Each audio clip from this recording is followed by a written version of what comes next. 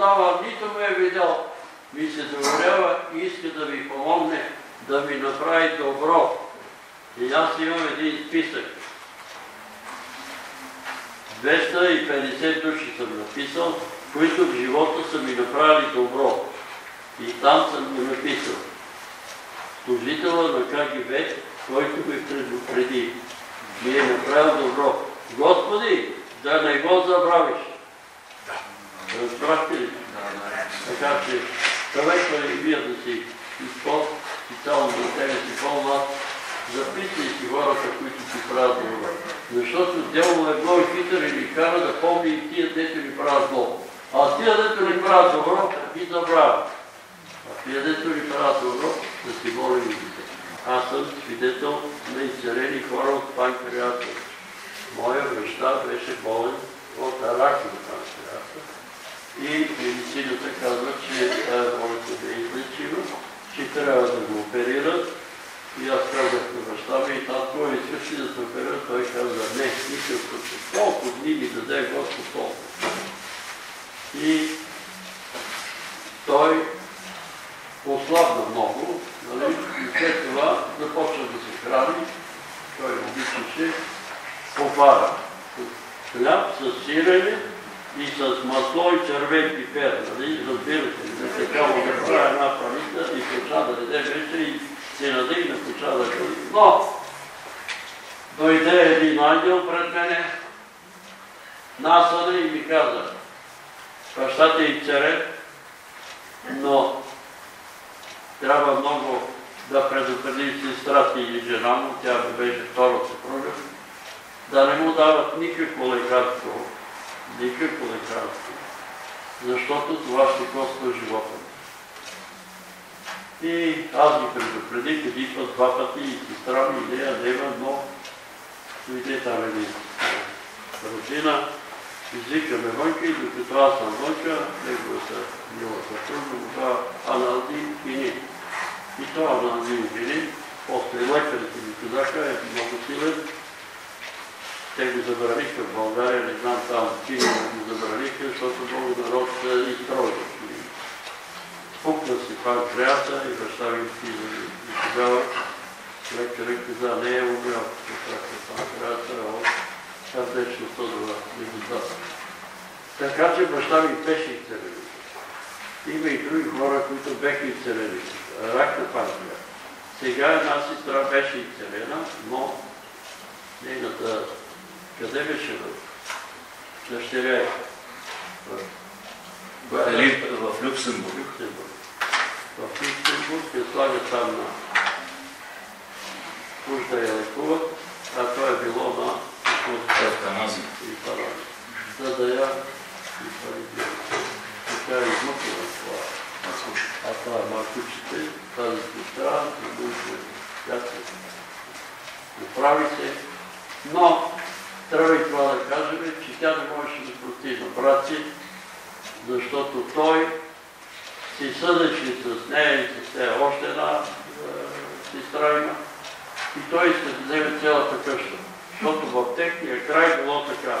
Момчето взима къщата, а момичетата взимат по една нива. Обаче съда дава един етаж на нея и на сестра, един етаж на него. И той се съди и аз им казах с него, подикам, моля ви се, простете. Моля ви се от сърце, махайте ги къщите, къщите да се рушат, още да става, само да си спаси душа. Запомнете го това. Ако не простиме, Исус казва, както и ние прощаваме на нашите длъжни. Ако не прощаваме, и нас не Така че, ако има също човек, роднина, мъжа, съпруга, нещо да се е бил, бил ли? Не. Не? Не. Абе, има, нашите мъже ги бият тук в България. Не обяснява. А в Русия е Не обратно. всички, не. В Русия е обратно. А, Жените бият мъже. ако нещо те е разругавал или те е разругавал или нещо от сърце му прощавай, защото вие сте клуб. И когато той страда, ти страдаш, нали? И когато ти страдаш, и той страда. И сега му се- от сърце му прощава. Всичко, каквото те е оскърбили на на други. Ако има друг човек, ако има друг човек, некой, некога те е оскърбил, наранил. Извинявайте, ама добре тия неща, вие си ги слушате. Те са ги чули. Имаше един човек, когато аз бех на десетина години, той ми извика и каза, Петре, ела да се питам нещо. Аз отидах при него, кажи Чито Иване. И Чито Иван, като ми удари до пестих, тук и ми разбиса. Абе, защо ме биеш? А ти си бил моя... Гошо. Гошо. Не, Гошо, друг беше. Това беше и брат Иваната Димитър. А това е Димитър, дето ми удари, а Иван е сина. Абе, не съм пипнал с пръст сина ти. Не, ти си го бил. Цял живот не мога да му простя. Господи, ама ти знаеш, аз не съм бил сина. Ама не мога да му простя. И вече реших да отида при него да поговорим, защото той вече беше на възраст, на 70 години. И дошъл съм, викам да се разберем. Аз не съм пипал пръсти на ти, ти ми удари, разбили зъбите. Нали, да се разберем, да ти Господ за тебе. пил. И обаче той каза, Деца, елате тук. Ето беше бил учеви, но аз като го правих ти пестих и ме разби за Абе, човек не са бил учени. И аз и така. И как? Господи, как да му проста? Той човек ме е бил. И тогава Господ ти проговори. А аз бех голем побойник. Не голем, ама така, някой, който пече, почне да се пече и да се пие с другите деца, аз го предашам. И имаше двама такива побойници в селото училище, и Гошо и Нено като го съборих по земята, като стъпих върху него, да го налагам и си събла цялото училище, защото те знаят, че Нено ги тероризира. И Нено яде бой. И така напих го Нено, извикали директора, разправяхме се там, Гошо също, и тогава Господ е побита. А ти, Нено и Гошо, били ги, бих ги Господи. А бащите и биха ли те? Ами не са ме били. Е, на Иван баща му те наби заради тях. И изведнъж на Димитър му протекло сърце. О, Господи, аз ти заслужава. Така че от сърце прощавай. И тогава Господ. Не бойте се. Не бойте се. На 400 места в Библията пише. Не бойте. Уповавай на Бога. И се молете и вие. Аз не боли кръка. И тук една страна ми даде един лък. И той е още повече. Е. Обаче не се сещам да се помоля аз да кръка. И една му се обади, вика, бе, ти молиш ли си това? Не, не се моля. Аз не се моля за моля. Ще се викаме, Господи, кръка ми, моля ти се и цели кръка ми. Така и вие се молите, и аз се моля. И тогава, Господи. Понеже виждам тук две знамена, искам да ви припомня това откровение, което Господ ми даде за имената и знамената. Сънувах, че Господ е дошъл и всички църкви са строени на халите.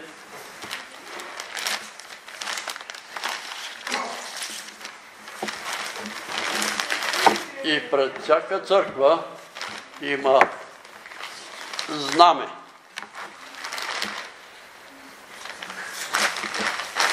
При всяка църква има знаме. Обаче едни черни човеци дойдоха и грабнаха знамето на 50-ната църква. И побегнаха, ония, които знаете, на халите към банята нагоре към Цун. И една така възрастна жена ми каза, брат Петре, абе откраннаха ни знамето на 50-ната църква. И аз ги подгоних, настигнах и в градината и казвам, не мързайте в името на Исус, не мързайте нечестивци. И те пърлиха знамето и побегнаха. Аз вземах знамето, занесах го там, дадах го на 50-та църква и в това време Господ Исус идва. Идва към мене и аз сега очаквам да ми каже Петре, браво бе, ти спаси знамето на 50-та църква. А той ми изгледа с много строг поглед и каза, запомнете тия думи. Няма никаква сила, нито в имената ви, нито в знамената ви. Силата е в името на вашия небесен Отец. Няма никаква сила в тия знамена, нито в 50-то, нито в баптистко, нито в методистко, нито няма. И тогава аз отидах в 50-та църква и им разказах този син, обаче пастирите казаха, ви сега другите имена съгласни сме, но за 50-ното име не сме съгласни. Защо? Ами защото то е взето от Библията, бе, брат Петър. То е от 50-ница. Добре, бе, братя, айде сега, вие пастирите, съберете се над един болен човек, сложете ръце върху него и кажете, в името на 50-тия съюз стани и ходи. Ма не, не, то така не може да се каже, ама. Ема нали казвате, че има сила? И така, силата е в името на вашия небесен Отец. И сега, идва при мене едно семейство, аз сънувам сън,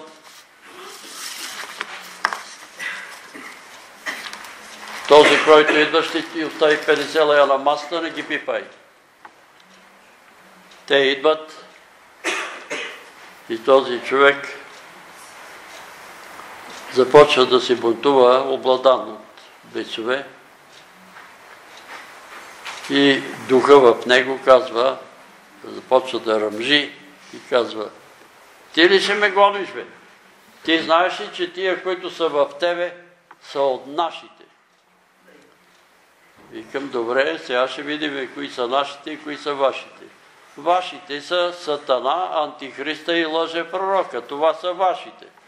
А нашите са Бог Отец, Бог Син и Святия Дух.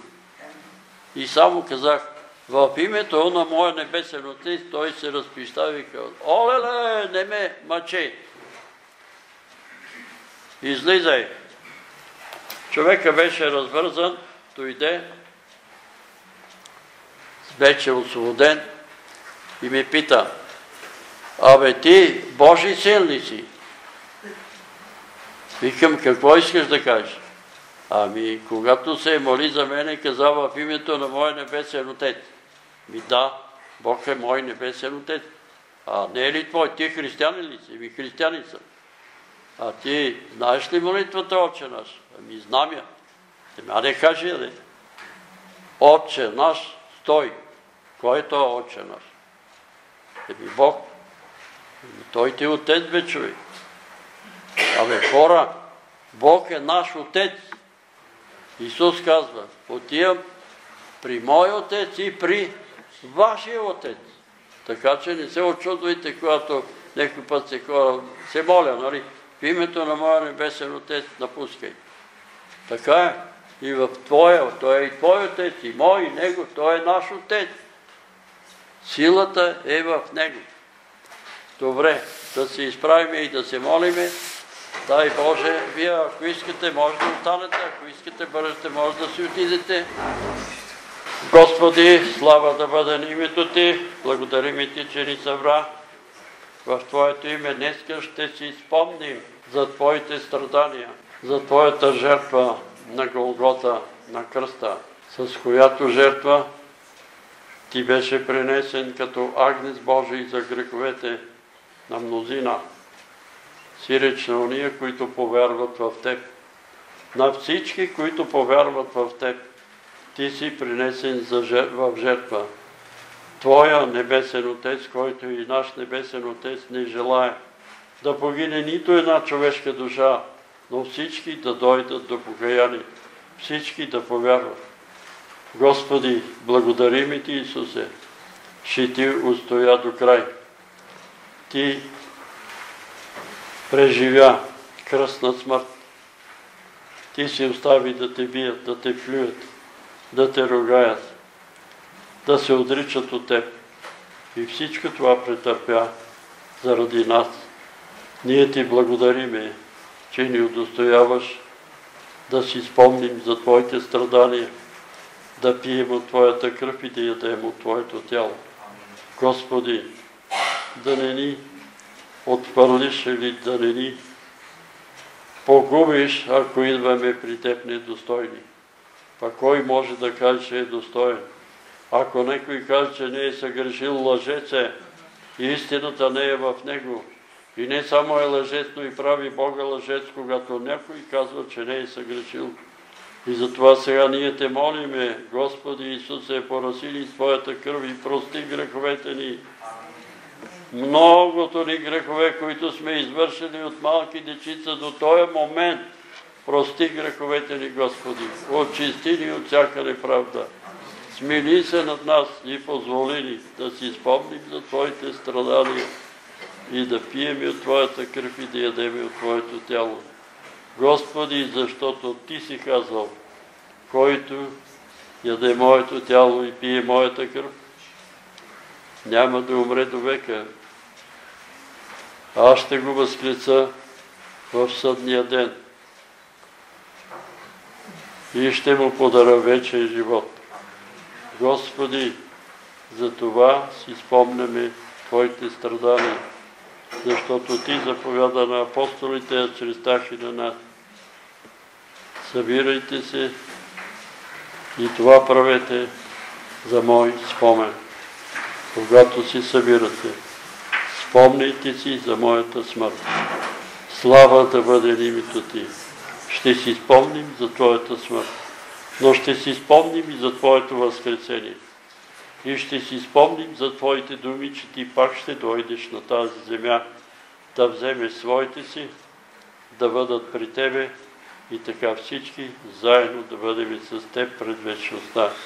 Благослови ни сега, помилвай ни, бъди с нас в това събрание, ръководи ни и Те молиме, Господи, тези наши брата и тази сестра, да ги благословиш, да ги помилваш и да занесеш, да ги изпратиш обратно в Полград, здрави и силни и благословени.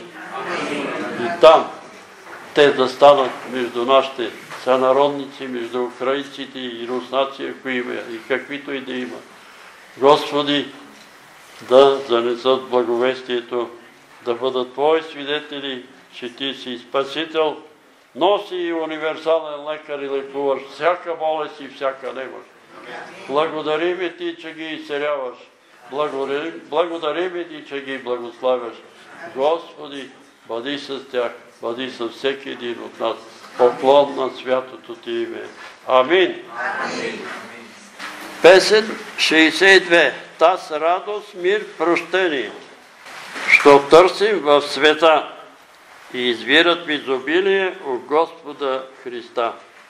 Таз радост, мир, прощение, що търсим в света, измират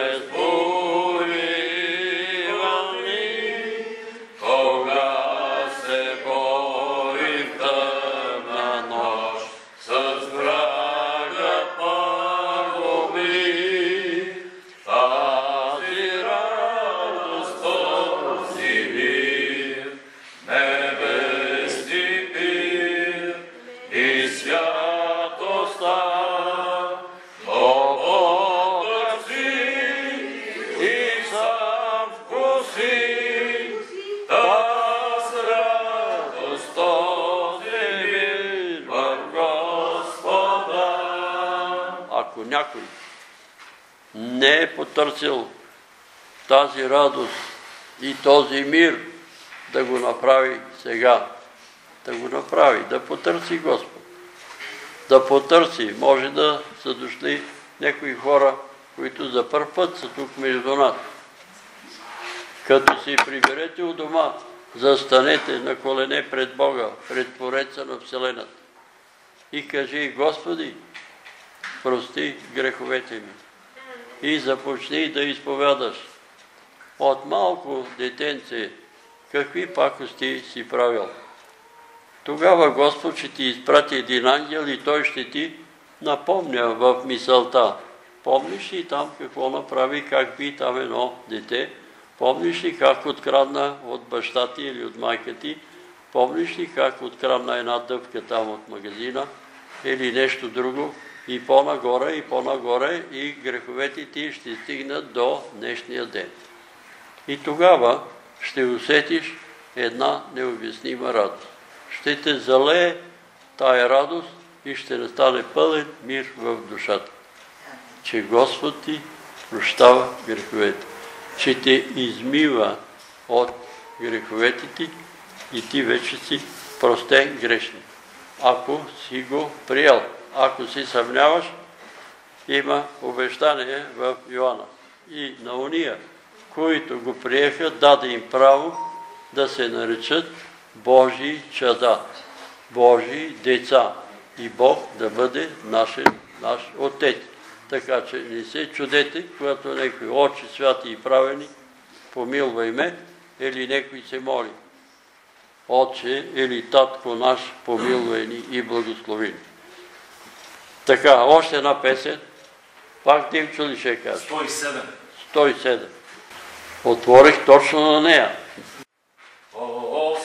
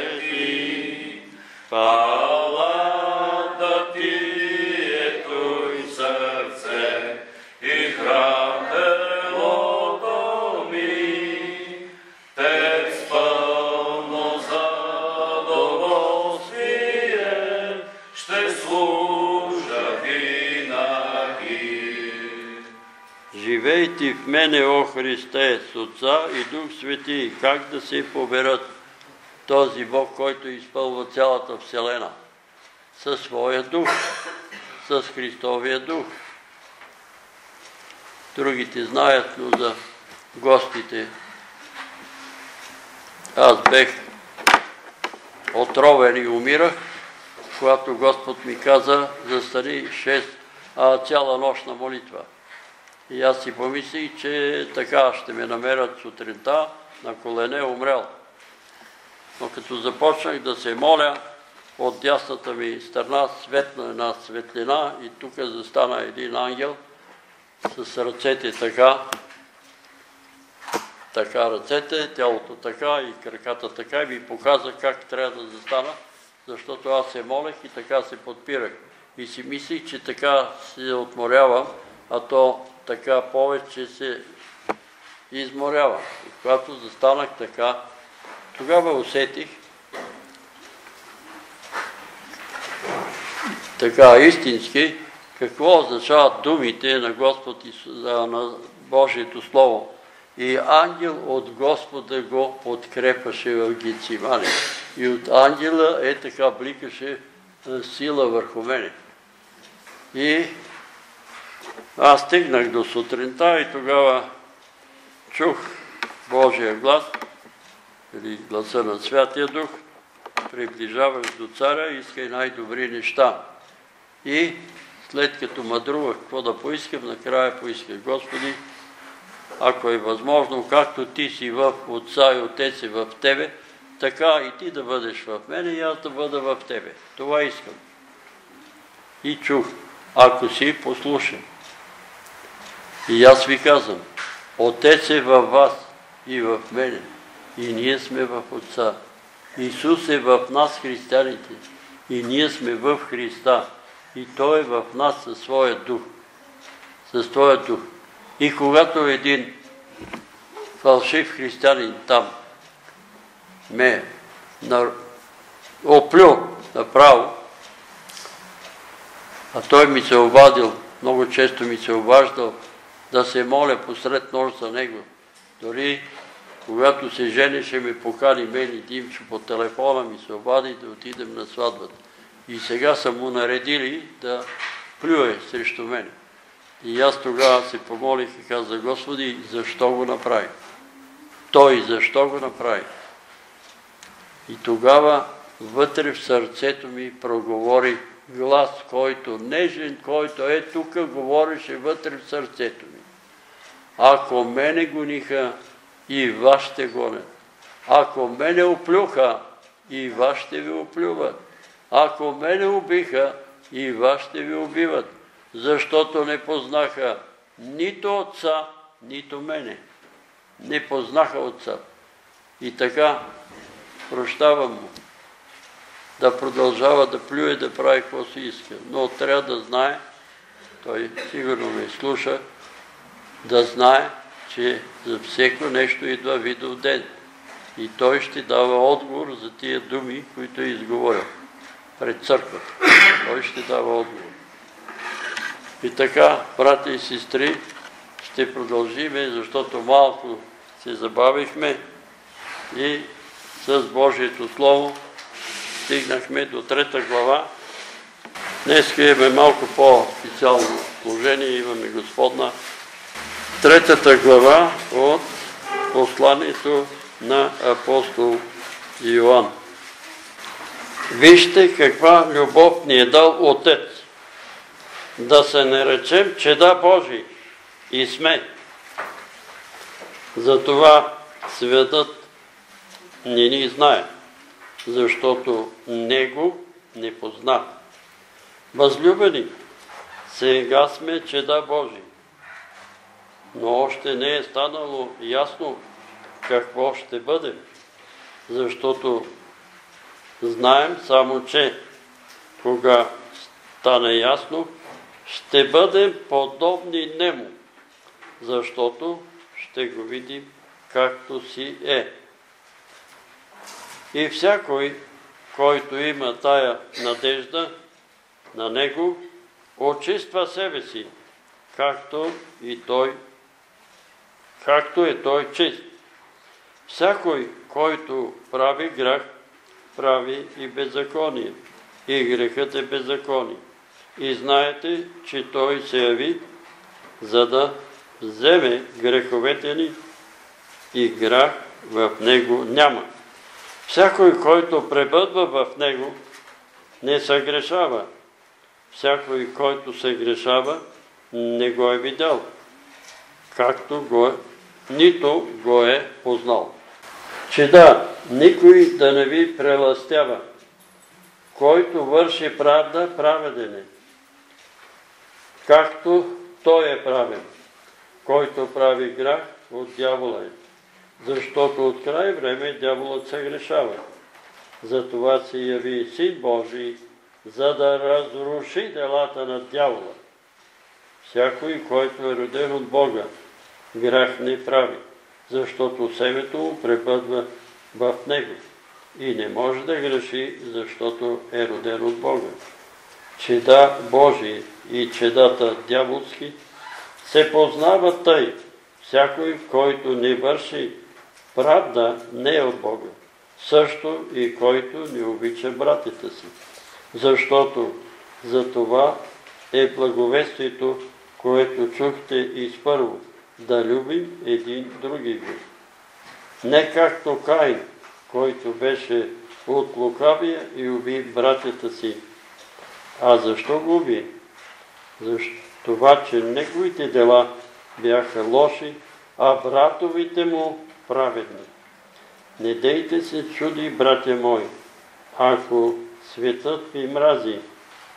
Ние знаем, че преминаваме от смърт в живот, защото обичаме братята. Който не обича брата си, пребъдва в смърт. Всякой, който мрази брата си, е човекоубиец. И знаете, че в никой човекоубиец няма вечен живот, който да пребъдва в него. До тук два пъти ще разгледаме тая глава. Точно, както виждате, усещам, че лукавия се опитва да ме, нещо да ме обърква, но Господ да го смамре. Явно има човек тук, който се опитва нещо да ни пречи, но искам да го предупреда, че ще пострада. Това е истината. Нали, аз ви казах преди няколко събрания, между вас идват двама мъже, които са предатели. И ще пострадат. И не двама, мъже, двама души, нали, аз ги видях като мъже, нали, не ги познавам, ще пострадат да си имат едно на Това, което говорех, това отворихме и това започнахме да четем. Какво четеме тук? Каква любов ни е дал Отец? Как ни е възлюбил? Да ни даде право да се наречем деца на Бога. Такива сме. Божи човеци. Божи чада. Божи деца. Такива сме. Един ден, като влезнах в църквата на доктор Лонг, проповядваше брат Павел Игнатов и той от Авона. Къде ходиш, бе, Божи човече? Брат Петре, къде ходиш? Добре дошъл. Божи човече. Дали сме Божи човече? По-надолу разбираме кой е Божи човек. Който не прави грях. Ако правиме умишлено грехове, какво става? И ако мразиме братите и сестрите, ако ги ненавиждаме, ако искаме ние,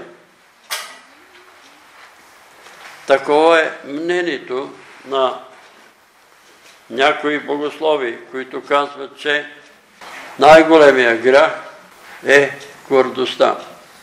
Мисълта, дяволът винаги се старае да ни накара да се възгордеем и да помислиме, че ние сме нещо, като не сме чак толкова нещо.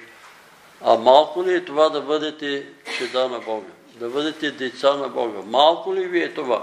Ами трябва да искате да бъдете над всички отгоре. Защото имате дарби. Нали, напоследък се срещнах с някои братя, които се молят за изцерение на болни и казват, и двамата казаха, аз знам, че на мен ми завиждат хората, ма какво да ти завиждат? За какво да ти завиждат? Ами защото искат всички хора, за които се молят, да оздравеят. При тебе така ли е, брат Петър? Всички ли, за които се молят, са оздравели? Ме не са оздравели. Ама аз ви питам вас.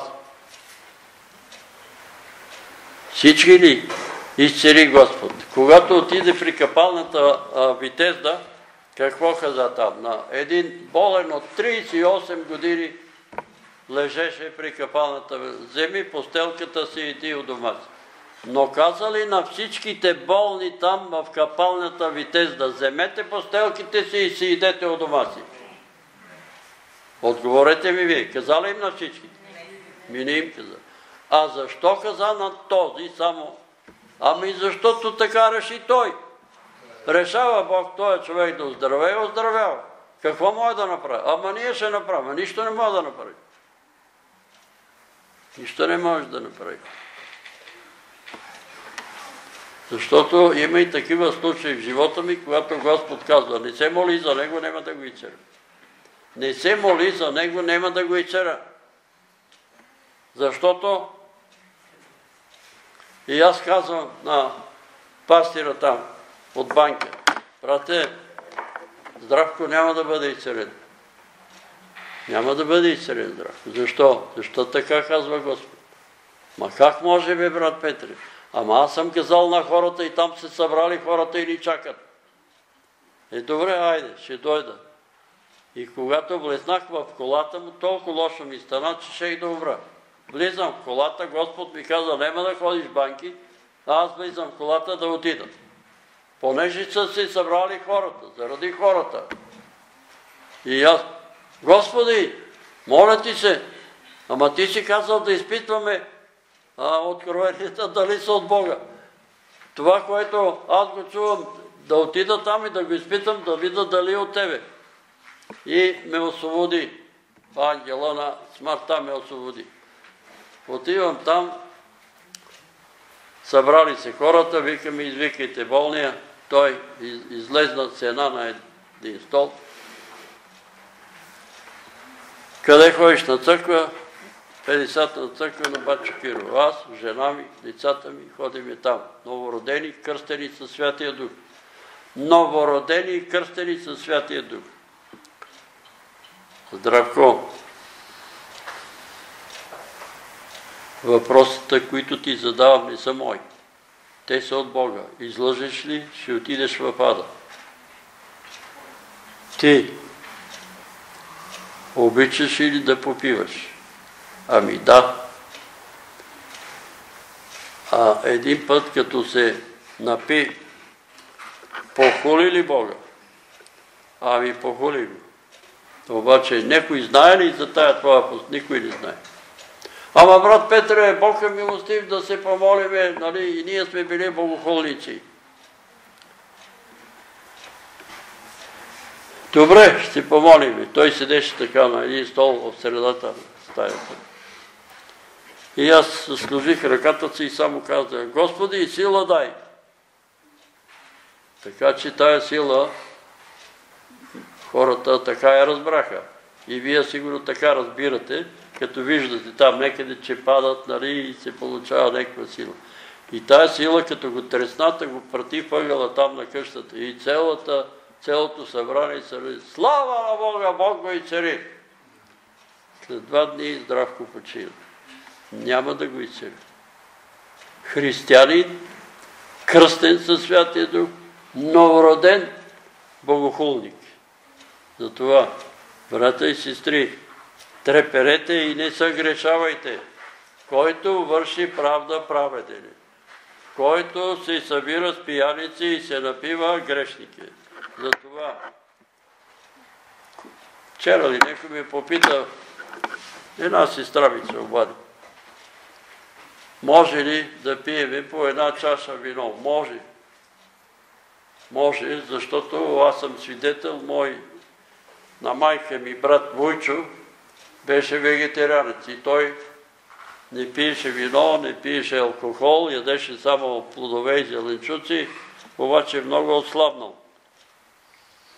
И тогава лекарът му е казал, ще почнеш да ядеш и месо, ама аз съм вегетарианец. Еви, ако си вегетарианец, ще умреш. Много си ослабнал, хемоглобинът ти е паднал много ниско и ще пиеш по една чаша вино, червено вино на обед.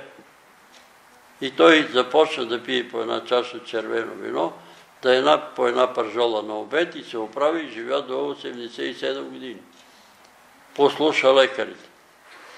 И тук сега ще дойде въпроса. Ама чакай, как така? Ние не можем да пием вино. Ами Исус направи в Кана Галилейска водата на какво? Защото по евангелските църкви лъжат, че го е направил на гроздов сок. Нема такова нещо в Библията. В Библията не пише, че Исус е направил водата на гроздов сок. Нито я е направил на оранжада. Нито я е направил някакъв друг сок. На вино, защото уредника или стария сват, както пише православната Библия, стария сват каза, като вкуси от това вино, всеки човек най-напред дава хубавото вино. И хората като се понапият, тогава им дава лошото. А ти си запазил най-хубавото вино за накрая, каза на младоженица. Може ли хората да се напият от гроздов сок? Но не могат. Нема да се напият. Но ние сме свидетели, че ще дойде това време, когато ще се услужва Господна вечера с оранжада и какво беше? И солети. И солети. Отиваме при един пастир, умира, болен е, и ние започваме да го питаме, да не е изневерил на жена си, да не е направил някакъв грах, да е покой. Аз ще ви кажа, аз ще ви кажа, що умирам. Защото бех мисионер в Турция и там услужих Господна трапеза с оранжада и солети. Абе, брат, как се казва? Христо Чекалов. Брат Христо, ма как са солети, бе? Ти си пастир, бе. Как са солети ще услужат Господна вечера, бе? И с оранжада. Ами и така ви наредиха американците. Моите уважение към американските християни. Ама тия, дето са му наредили, за мен не са християни, те са антихристи. Тия хора, които са наредили на пастира да услуги с солети, нема ли в Турция вино? Има. Има ли брашно? Има. Еми защо? Защо са солети, бе, брат? За да докажат, че може. Не може. Не може. Това е подигравка с жертвата на Господ Исус Христос. Неговото тяло и Неговата кръв са пренесени в жертва на Голгота за омилостивлението на Бог Отец за греховете на целия свят. И те не могат да бъдат сравнявани с оранжади, кръвта му с оранжада и тялото му с солети. Не може, това е кощунство. И резултата ето такъв. Молихме се, дойде цяла църква там. О, на почаха ние си тръгнахме и Христо почина. Бог не го изцели. Затова внимавайте на живота си. Праведния върши праведно. Божиите чада, в които е Божия дух, реагират веднага на неправдата и казват, не, това не мога да го направя. Молиме се за един умиращ брат. Не знам дали беше Христо Петров. Умира. И каза, брат Петре, ние с... Гошо Папазов. С Гошо Папазов. Гошо Папазов е дякон в Пелицата църква в Кадовик. Идвахме на твоите събрания. Но спрехме да идваме, защото ти каза, че трябва децата да се кръщават. Ти нали сега си наясно, че деца не трябва да се кръщават? Абе Христо, ти умираш сега. Какво искаш от мене да кажеш? Да кажа, че деца не трябва да се кръщават, а ти да се оправдаеш. Ама не, бе, ти не си ли убеден, че деца не трябва? Не, аз съм убеден, че децата трябва да се кръщават. Аз съм убеден, защото открих решение на Централния комитет на КПСС от 1954 година, 1954 година, в която е записано дети и младеж ли беше на руски, да не се кръщават. И решение на Централния комитет на БКП от 29 декември 1957 година. Напишете го в интернет и си го прочетете.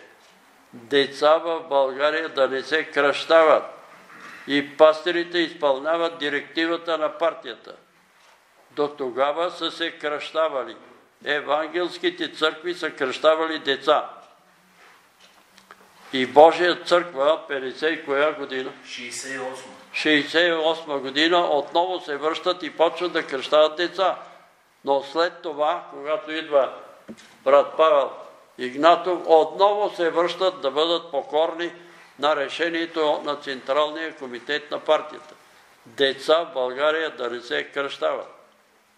И затова и сега една сестра ми се обади по телефона и иска да ме убеди, и мъжа ми се обажда, и искат да ме убедат. И вика, вие какво искате сега? Аз да кажа децата да не си ги кръщават. Няма да кажа. Няма да кажа. Задачата е аз да го кажа. Нали? Да отстъпя. Аз съм твърдо убеден, че децата трябва да си кръщават. Моята Леля, майка, сестра на майка ми, умира. И изпада в неко такова състояние, че се намира на небето. И на небето, около Исус, много деца, радостни, всичките лицата им светат в бели чисти дрежки, а на страни от него в една такава запустела градина деца с дрипи и целите мършави там. И тя се моли. Какви са тия деца, Господи? Тия деца са кръстени и Исус е в тях, а уния са отстранени от Исус, защото не са кръстени. Нейния мъж беше учител по вероучение Вуйчо ми, е бил атеист и е учил хората така, че е учил и вероучение, така го е учил, че се е присмивал и е станал причина много хора да се разколебаят. Има и други примери. И аз ви казвам, този пример, нека ми чуе Томи да не ми се сърди, но да не се срамува и да се страхува от неговите колеги. Томи Караколе се роди детенцето му Самуил. И доктор Темешли му каза, това дете ще живее най-много 9 дни. То нито пие, нито яде, нали, нали, не, не бозае, не смучи. Има проблеми. Главата му е пълна с вода, хидроцефалия. Тогава съпругата му, Добринка, сънува сън. Кръстете детето и ще живее. И то ми отива при професор и казва, дайте ми детето. Той казва, дома нямате условия, детето ще умре. Ме вие казахте, че след 9 дена ще умре и тука. Дали тук ще умре, дали дома ще умре, какво значение има? Дайте ми детето. Изписват го, отиват, той ми го е казал, на Петър Берон, има православна църква, кръщават детето и оттам го донасят при нас в дружба. Детенцето беше сиво, лицето му като земя. И аз казах на Томи, спомням си, Томи, можеш ли сега да кажеш, това дете, което ти ни даде, аз го давам на Тебе, Господи. Направи с него каквото ти желаеш. И то ми повтори думите му, думите ми. И ние се помолихме. И се прибират. И съседката, техната съседка му дава да пине малко некакъв чай. Сега, хората веднага ще кажат, чая го и цери. Некакъв чай. И това дете, вместо да пие повече, изведнъж започва да повръща. Повръща вода. То не е бозало, не е пило вода, а повръща. Какво повръща? Повръща водата, която е била в главата му. повръща, повръща и започва да бозае и сега е мъж на 30 години. Томи Караколев, пастир от Божия църква, си кръсти детето. И той не смее да го каже. Бе, говорете истината, истината ще ви направи свободни, бе хора. Но не се притеснявайте. Истината ще ви направи свободно. И аз се молих, аз съм кръщаван втори път в 50-та църква. Господи, кое кръщене е законното пред Тебе? Първото или второто? И чух глас от небето. Първото. Първото ти кръщене е законното, в православната църква. Когато са ме кръщавали, една жена е започнала да плаче там. И баба ми отишла при нея и каза, защо плачете бе, кръщаваме детенце, радвайте се. Не, не, плача, защото видях видение. Какво видение? Исус Христос присъства на това кръщене. Еми присъства на всяко кръщене. На всяко кръщене, на малък и голем Исус присъства. Ама детето, нали е писано, че кръщенето трябва да стане след покаяние. На какво покаяние искат от едно бебе? Какво покаяние искате от бебетата?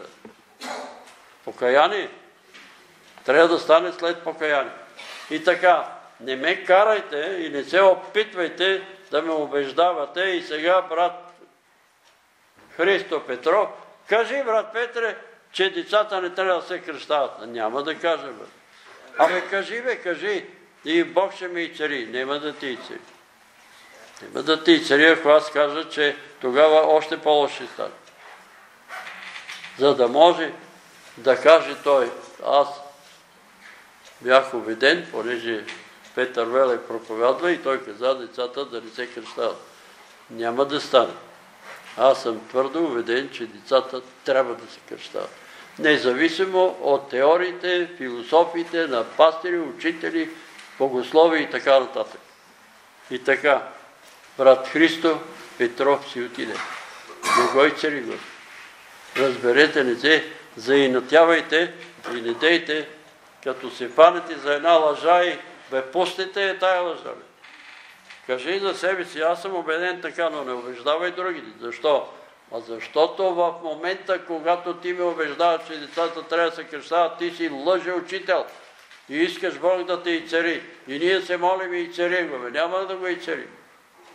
Няма да го и цари. Ако нещо не сте убедени, каза, не съм убеден, не знам.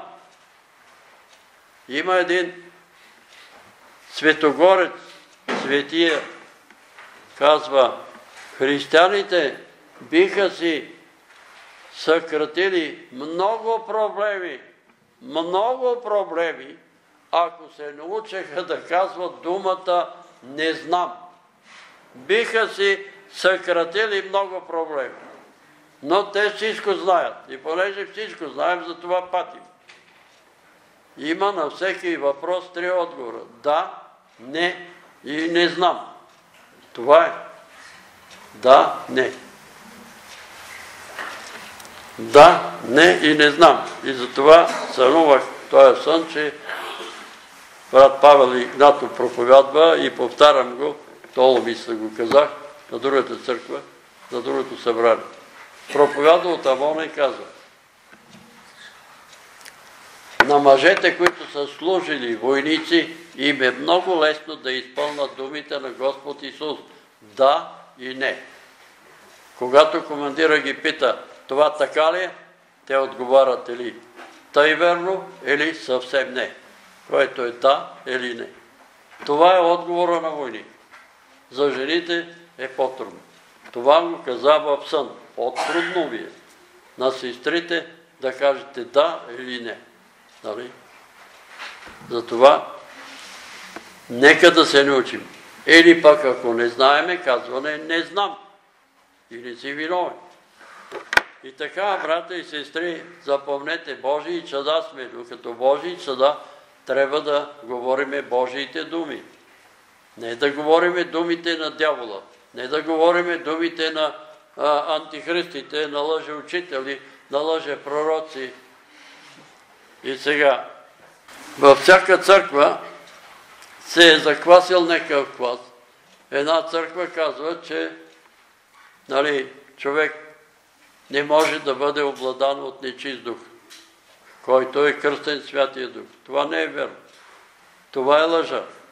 Друга църква казва, че след смъртта човек спи и няма вече душа, няма нищо. Когато Господ дойде, ще ни дигне от практа и ние ще оживеем. Четвърта църква говори трето, че и се, и се държи като отдавник за сламка за тия неща и не може да се освободи. Не може да се освободи. Че това не е така. И когато ги питаме за някакви работи, казваме, добре, щом спът душите. Човек, защото писал там, заспа и край. И заспа и отиде при отците си. И какво отиде при отците? Заспа. А Исус, чули ли сте я? Това слово да се проповядва по евангелските църкви. Имаше един богаташ, който живееше пишно, нали, разполагаше всеки ден. И един беден сиромах Лазар, който беше петивен от трохите, които пазаха от трапезата на господара да се нахрани. Умря Лазар и ангелите го занесоха в лоното на Аврама. Моля уния, които проповядват, че няма душа. Какво занесоха? Какво занесоха ангелите? Какво занесоха? Умря богаташа и занесен беше на мъки. И тогава, когато се мъчеше, обърна се към... Ами това е една приказка, вика, която а, Исус е разказал на евреите. Исус а, приказки ли разказва? Исус разказва 100% истина. И затова запомнете тая 100% истина. Умря Лазар и занесен и ангелите го занесоха в лоното на Авраам. Занесоха душата му в лоното на Авраам. Човек се стои от душа, дух и тяло. Тялото остана, отива в пръста. Още едно нещо имам да ви кажа. Тук некои хора считат, че апостол Павел, и така и проповядва, се е заблуждавал, когато е казал, като дойде Исус, нали, първо ще възкръснат мъртви, а след това ние живите ще бъдем грабнати и заедно с Него ще пребъдваме във вечността. Апостол Павел се е заблуждавал и е мислил, че той ще бъде грабнат, че той ще бъде грабнат и ще е жив до идването на Исус. И така проповядват хората. Обаче не знаят, че не е така. Защото преди да дойде Исус и мъртвите да възкръснат, и всички мъртви да възкръснат, има хиляда годишно царство на земята. И апостол Павел е сигурен, че ще бъде в това хиляда годишно царство. И ако ние сме правени пред Бога и сме такива, каквото четеме тук и апостол Лян пише, и ние ще бъдем в това хиляда годишно царство. И това е първото възкресение. 20 глава Откровение. За съжаление, православната църква казва, че хиляда годишното царство е минало от времето на свети свети Константин и Елена хиляда години. Обаче аз ги питам, тия митрополити, защото като говорим с тех и те казват, Пар Петре, минало е хиляда годишно царство. От свети свети Константин и Елена хиляда години. Викам, може ли да ми отговорите на един въпрос? Да, може. А през това хиляда годишно царство по времето на Константин и Елена, светите, свети, свети Константин и Елена, лъвовете пасеха ли трева като воловете? Мълчали. Не са пасли. Нали не са пасли? Нема в историята забелязано такова нещо, лъвовете да пасат. Обаче Господ казва, че ще пасат. и че няма да има никакво зло на земята. А по времето на Константин и Елена е имало войни, а войните са зло. И така че, хиляда годишно царство аз вярвам, че ще има. И това е първото възкресение, при което 20 глава от Откровението. Прочетете си я, вижте, това е първото възкресение, когато ще възкръснат праведните, когато ще дойде новият Иерусалим и са дадени а, размерите. 2000 км ширина, 2000 км дължина, 2000 км височина. Ще дойде на тая земя. И там ще участват тия, които се опазят да влезнат в Божието царство и се опазят от греха. Защото за това сега е време да се пазиме от греха и да помним, че сме деца Божии. И когато ни се предложи грях, да знаеме, че ще изложиме нашия небесен Отец. И дявол ще каже, его, твоя син, виж какво прави. Виж твоята дъщеря какво прави. Нали е твоя дъщеря? Къде отива? И така, ония, които имаме тая надежда, че сме деца на Бога, че ще участваме в първото възкресение, че ще живеем хиляда години на земята, вече с променени нали, тела, не такива, каквито са сега болни, куци, с а, диабет и така нататък. Няма да има диабет, няма да има болести. Хиляда години, които имат тая надежда, очистват себе си. Очистват себе си и вярват, че тая надежда ще дойде при нас. И така, всеки, който пък прави грях, прави и беззаконие. И грехът е беззаконие. И знаете, че Той се яви, Исус се яви, за да вземе нашите грехове. И в Него нямаше грех. Но въпреки това, Той беше отхвърлен. Тук имаше едно момиче минали пет помните ли беше а, болно от а, Шизофрения. шизофрения, с дух а, не може да спре да говори. И на една сестра се даде, това е дух на а, Абе, на французите имаше някаква, някакъв вид за французите, че са какъв беше това, това живото с голямата уста? Хипопотам ли беше? А? Хипопотам. Че това е дух на хипопотам, който се вселява в такъв човек и той не може да спре. И този дух трябва да се изпъди. Трябва да се изгони в името на Исус напусти тялото на този човек. Но то е, защото това момиче е било отхвърлено по някакъв начин от родителите.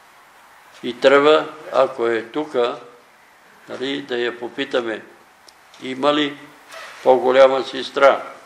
Има ли братче? Защото това е големия грях на вярващи и невярващи. Жена му забременява и той чака да му се роди син, но му се ражда момиче. И брат Светко Трянов ми разказва, като отишъл пред там майчин дом, да чуе какво е родила дъщеря му, имало един офицер с един голем букет. И най-напред на него му казали, че му се е родило момиче. И той фърлил букета, го ритнал букета и си заминал. И си отишъл офицер. И брат Цецо чака и него казва. И вие имате дъщеря. И той казал, слава на Бога, ще помага на майка си. Тя ще помага на майка си. И точно така вика стана. И второто му дете беше момче. ето, той е офицер, неговото момиче е, ще бъде обладано от дух на отвърляне. Ето е ритнал. Защо? Защото той иска да бъде момче. Е, искаш, ама от Бога зависи. Бог казва какво да бъде. И правят разни изчисления там, сметат точно тогава, кога да забраме за да бъде момче. И накрая пак излезне момиче. Има и още една тайна. Оня мъж, който е марсувал преди да се ожени, му се раждат повече момичета. Това някои го читат за, за справедливо от Бога. А оня, който е пазил себе си, му се раждат момчета и мъже. И това не го казвам, че е от Бога. Казвам го, това е поверие между хората. И така, брата и сестри, да се пазиме от греха, защото греха е беззаконие. А той се яви, за да загине там на Голгота на кръста и сега може ли той да прощава и да развързва от хора, които са отхвърлени? Може. Знаете ли защо? Ами, защото него го отхвърлиха, бе, брата и сестри. Помните ли колко народ го отхвърли? Пилат излезна и каза, ето човека, да ви го пусна. Никакво зло не намирам в този човек да е извършил достойно за смърт. Да го пусна. Не. Заслужава смърт. На вашите празници има обичай да ви пускам по един затворник. И там имаше един затворник, който беше в затвора осъден за бунт, за метеж и за убийство. И те казаха, той е ли престъпник да ви пусна, или той е невинния да ви пусна. И целият народ започна да крещи, подбуждан от свещениците и фарисеите. Пусни ни варава. А той е какво да го прави? Разпни го. Исус беше отхвърлен. Исус е отхвърлен от 70% от българите. 70% от българите са отхвърлили Исус. И ако ти дойдеш при Исус, Той няма да те отхвърли. Той няма да те отхвърли. Който и да си. Затова и това момиче да повярва и да пита баща си и майка си, когато казаха, че съм момиче, вие казахте е, чакахме момче. Чакахме момче. Един брат му се роди момче и след това момиче. И след това жена опак забърбина и той отиде да види какво е. И дойде у нас. И казвам, какво става? И той вика, е, пак момиче. Е, пак момиче. Това момиче порасна, завърши средно образование, завърши висше образование. Обаче не му върви на това. Не му върви, не му върви, не му върви. И аз казах на жена му да дойдат с жена си и той да се откаже от думите си, да дойдат да си помолиме. Помолихме си за това момиче и от тогава нещата се оправиха и му тръгна. Сега е инженер, работи като инженер в Канада. Господ я благослови това момиче, което бащата каза, е, пак момиче. Какво като е момиче, бе? Майка ти е момиче, сестра ти е момиче, какво като е момиче? И тук сега а, нали, Господ дойде, за да установи еманципация. Не може еманципация. Жената си жена, мъжът си е мъж. Не може жената да се прави на мъж. Нито мъжа, като се прави на жена, става смешен. И жена, която се прави на мъж, и тя става смешна. Не може Господ е дал едни качества на жената, други качества на мъжа. Ама има жени, които дигат штанзи, има жени боксерки, има жени играят футбол, има всеки. Има, ама това е Това е изключение и извращение. Не е това призванието на жената. На жената призванието да ражда деца, да ги възпитава и той пише апостола, ако ражда деца и ги възпитава да бъдат във вярата. Или, или тя да остане във вярата. Ще се спаси, ако остане във вярата. И така, нека да се пазиме от греха, защото греха е беззаконие. Всеки, който пребъдва в него, не съгрешава. Не съгрешава, ако пребъдва в него. Може ли, когато ти си пребъдваш и си цитираш в мислите си, мислиш цитати от Библията, в този момент съгрешаваш ли? Ще съгрешиш, ако се възпротивиш и кажеш, Господи, чакай, тук не съм съгласен с теб. Тогава ще изгрешиш. Но ако това слово гори в тебе и любовта ти към Бога гори, нема, нема да се грешиш. А не, че не можеш да се грешиш, както някой проповед, човек, който вече е новороден, който е, той не може да се греши. Може да се греши. Един такъв проповедник, който проповядваше в Баптистската църква, човек, новородения не може да се греши. Новородения не може да се греши. И Господ ми каза, вземи биографията на Йоанн Кронштадтски и я занеси на този пастир.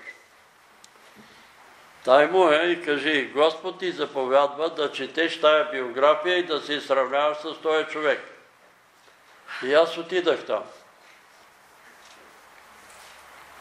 Свърши службата, останахме двамата в църквата и аз му казах, сънувах сън.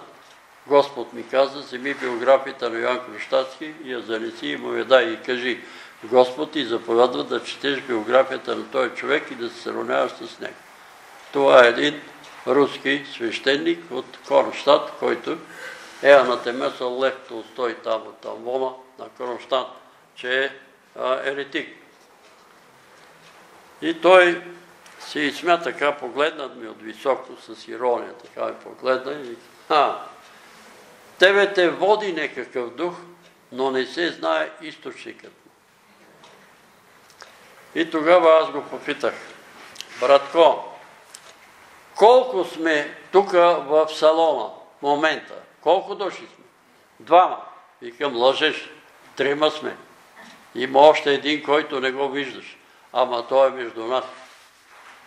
И той ще те попита в съдния ден. Той ще те попита. Ти разбра ли какъв дух го водеше той Петър Велев? Дай книгата. Обаче я е хвърлил там и не я е чел. След няколко дни той човек катастрофира. Страшна катастрофа. Нито съм го клел, нито съм го проклинал, нито излезнах си, изпълних си задължение. Много време ходи с патерици, с бастуни. Един ден проповядваше в Конгрешанската църква и ние влизаме с Димчо. И той както проповядваше, като виде на вратата и замлъкна. Мъкна и не може да говори, защото се оплаши да не идва пак с някакво от този дух, дето не се знае източника. Знае се източника. Защо? А още нещо ми беше казано. Попитай го, той знае ли какво значи, значи литургия? И аз го попитах, знаеш ли какво значи литургия? Не знам. Ама викам, ти каза, че едни англичани са дошли сега гости от Англия в църквата, обаче ги няма в църквата, защото са отишли да слушат литургия в Александър Невски. Може ли, брата и сестри, новородени хора да слушат литургия? Може, бе, брата и сестри, може. Знаете ли коя литургия? Е това отслужването на Господната вечера. Възпоменание на Христовите страдания. Как може новороден човек да не слуша това, което се говори по време на литургията? Как може новороден да не го слуша? Защо? Разбирате ли, че хората са заквасени и това, което го казвам, го казвам с желание тия хора да се опомнят, да спрат да презират православните, да спрат да презират около тия е, конгрешаните, да спрат да презират методистите, да спрат да презират и адвентистите. Нали познавате брат Илия? Илия. Панчо, нали знаеш? Болен от левкемия, рак на кръвта. Илия отива в Александър Невски, моли се на Бога, той е адвентист, баща му, майка му са адвентисти. Какво е виновно едно дете, че се ражда в адвентно семейство? Ами, то се баща му, адвентист и майка му. И то ще се роди такова. Или се е родило в 50-то семейство, и се е родило в православно, и друг па се е родило в католичество. Веско тук ли си? Веско се е напънал, майка му се е родила по лекина в католическо семейство, католичка, той се иска да я направи 50 Абе, не може да стане 50 Абе, остави си я, тя си е християнка, бе. Тя си е християнка. Остави я. И така. Брат Илия се моли, правят му изследвания, кръвта му нормална. И лекаря го пита, какво прави ви Илия? Молих се на Бога. Ма как така? Ами да се молим и ние. Ми давай да се молим и за болните, и те да оздравят. И сега, може да има отклонения, ама така казваше брат Димитър Количев, пресявайте ги ви, пресявайте тия неща. Виждате в едно учение там, че това не ви харесва. Пресявайте, но другото са ваши брати и сестри. Как ще се гледаме в небето? Ако си въобразяват само методистите, там небето. Само грешар или само и извинявайте, че ви задържам, но на мене ми харесва.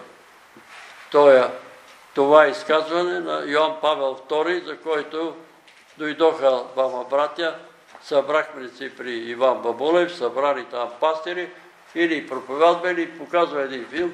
Йоан Павел II бил личността антихрист. Абе, унищожи го това, не го махай го, не ни занимай с тия поклуци. Защо е така? Йоан Павел II съсипал Съветския съюз. Абе, може ли този на 90 години старост да съсипе Съветския съюз, бе? Вие чувате ли се какво говорите? Бе? Може ли той старост да съсипе Съветския съюз? Защо си е времето? Знаете, империя Вавилон. Велика. Държи целия свят. Отиде ли си? Отиде. След нея коя дойде? Персия. След нея Александър Македонски. Завладе целия свят, стигна до Индия. И той. Разсипа се и се разпадна. След нея Английска империя, след нея Съветска империя. Това е. Те империи ще си отидат. Или Американска империя, или друга империя, или Немска империя. Заминават си. Те минават и заминават. Те си заминават. Но Той остава. Той остава. Господ остава. И Той, както казва цар Давид, е камъка, който ще удари големия изтокан и ще запълни цялата земя. И ние вярваме, че ще дойде това време, когато цар и господар на земята и ще демокрацията ще бъде отхвърлена и ще настане теокрация. Тео, Бог е господар. И Той, Неговото Слово, господарува между човеците, а християните изпълняваме Неговите заповеди. Ако ги изпълняваме, ако хитруваме, няма да влезнем. И така, ние трябва сега да си спомним за нашия Господ и Спасител. И тук некои се хвалят, всякой, който е родон от Бога, грях не прави. Но в другия превод, знаете ли кое е записано? Роденото от Бога не се грешава. Това, което е родено от Бога, в мене, то не се грешава. Това, което е родено от баща ми и майка ми, то съгрешава, плътта съгрешава.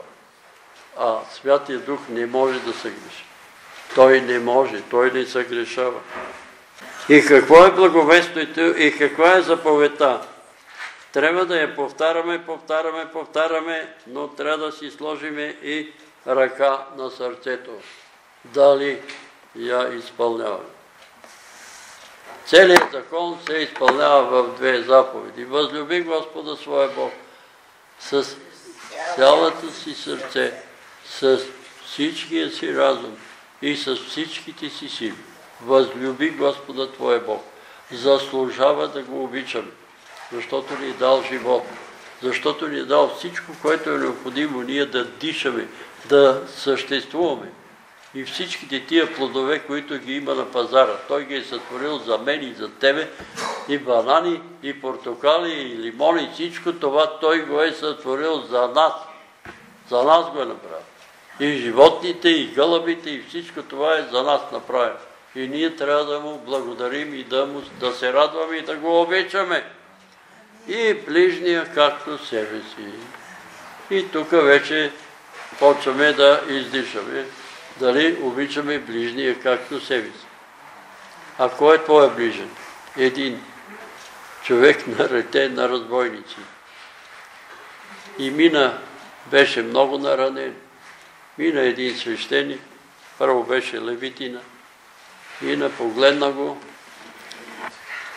Предполагам, нали? Предполагам, че като го е видел и казал, е, какви лоши хора имаме. Какво им е направил този човек? Бе? Ама защото са го разсъблекли, ограбили са го и са го набили по-отгоре на това. Обаче си замина. Мина и свещеника. И той мина, погледна го, е, жалко за човека. И той си замина. И мина един самарянин.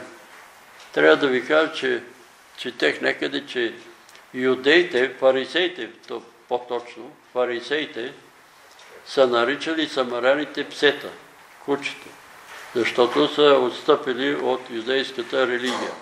Те наистина са отстъпили. Наистина в Самария, Вали, Ашери и така нататък. Но това Исус казва и мина един самарян, когато те презират.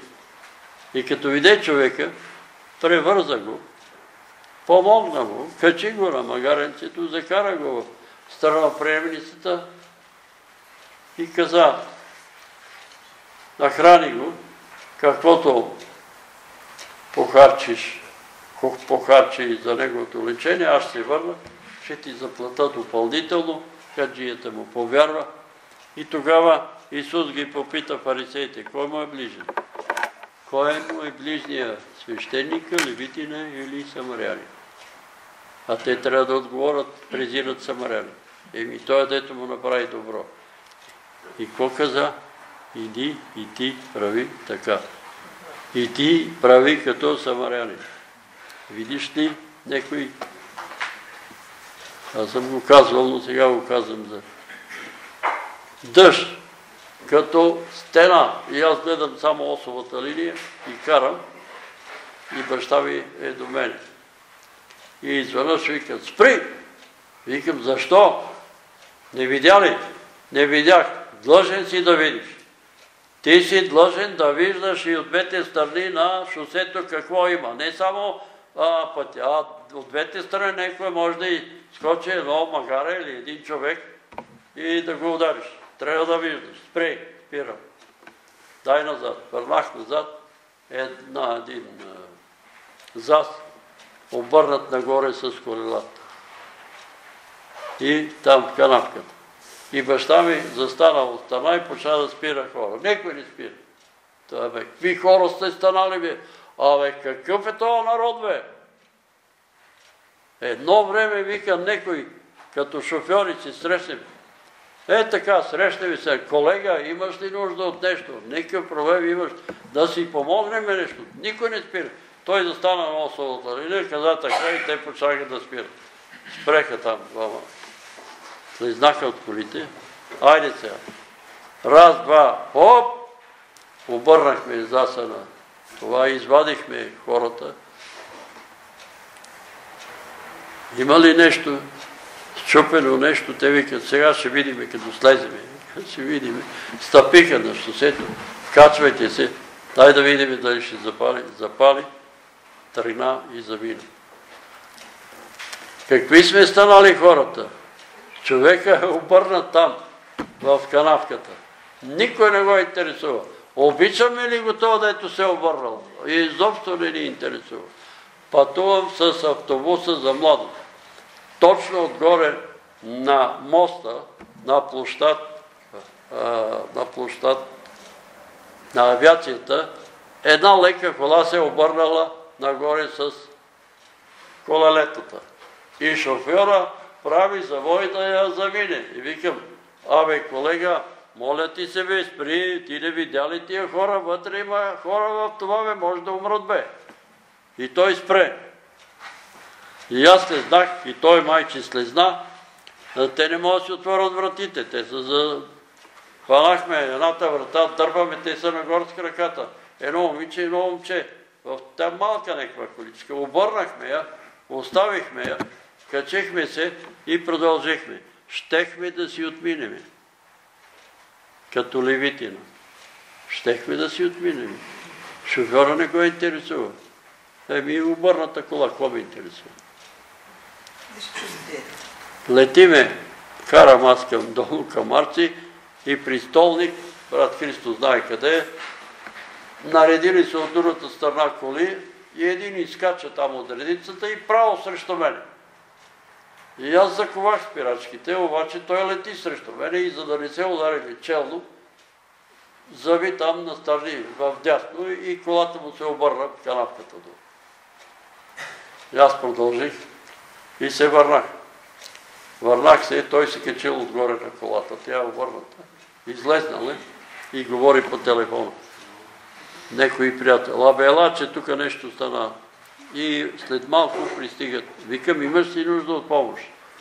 Ами имам, ама виждаш, че с тебе не може да ви обърнем. И след малко пристига катаджите, дойде колагата и аз викам, вие ще се справите, аз си отивам. И скача срещу мене. И цялата редица тия камиона и колите си минават, минават, минават и там има обърната кола нагоре с колелетата и никой не спре, никой. Дойдоха полицайите и почнаха да се разправят. Затова ви питам, кой е нашия ближен? Той е да е той в канапката. Трябва да му помогнем. Ама може после да кажа, че ние сме виновни, че ние сме... Това може да кажат. Нема да кажат. Господ ще ти защити. Господ ще те опази. Помагайте на когото, с каквото можете. Ако го обичаме, ще спрем и ще му помогнем. Това е благовестието. Това е благовестието на целия нов завет. Да обичаме другите. Не както Каин, който беше от лукавия и уби братите си. И защо брата си? И защо го уби? Защото неговите дела беха лоши, а на брат му праведни. Затова уби своя брат. Не знам дали си спомняте, беше дошъл министъра на външните работи на Украина при президента. И президента му говори, нали, това разговор се предава по телевизията. И аз ги гледам телевизията. И президента казва, ама защо се биете вие украинците с руснаците ви? Нали сте братя бе? А министъра му каза, еми и Кайн и Авел беха братя. Само това му отговори. И Кайн и Авел беха братя. Нали? И на Каин какви беха делата? Лоши. Лоши. Да не бъдат и нашите дела лоши, да не, да не заставаме на страната на Каин. И защо го уби? Защото делата му беха лоши. До тук. И не дейте се чуди, братя мои, за това, че светът ви мрази. Знаете ли, що ви мрази? Ами защото делата на света са лоши. За това ви мрази, а вие сте от Авел. И за това ви мразят. И за това ви ненавиждат. И ви подиграват. И ви се смеят, че сте заблудени и че не сте, какви бех, прогресивни, а сте затънали в религиозен мистицизъм. Аз бех ученик 8 клас, когато учихме за един български писател. И тогава учителя каза, на края на живота си, за съжаление, затъна в религиозен мистицизъм. На края на живота си писателя е затънал в религиозен мистицизъм. И това ми направи впечатление тогава. И аз се заинтересувах и се оказа, че този писател е повярвал и е станал проповедник. И е започнал да проповядва Евангелието. Но в очите на моя учител той е затънал в блатото на религиозния мистицизъм. И сега и аз в очите на много мои приятели съм затънал в блатото на религията. И ми съветват даже някой един мой съученик, ей, внимавай да не затънеш там в религията, там е опасно, те се самоубиват. Те се самоубиват, не се самоубиват. Не се самоубиват, а ще възкръснат. Приятели мои, които ме слушате по целия свят, нема нищо страшно да повярваш в живия Бог. Но има нещо много страшно, ако си отидеш от този свят, без да си повярваш. Много страшно. И аз го видях. Аз видях и едното. Господ благоволи да ми даде да види и едното, да види и другото.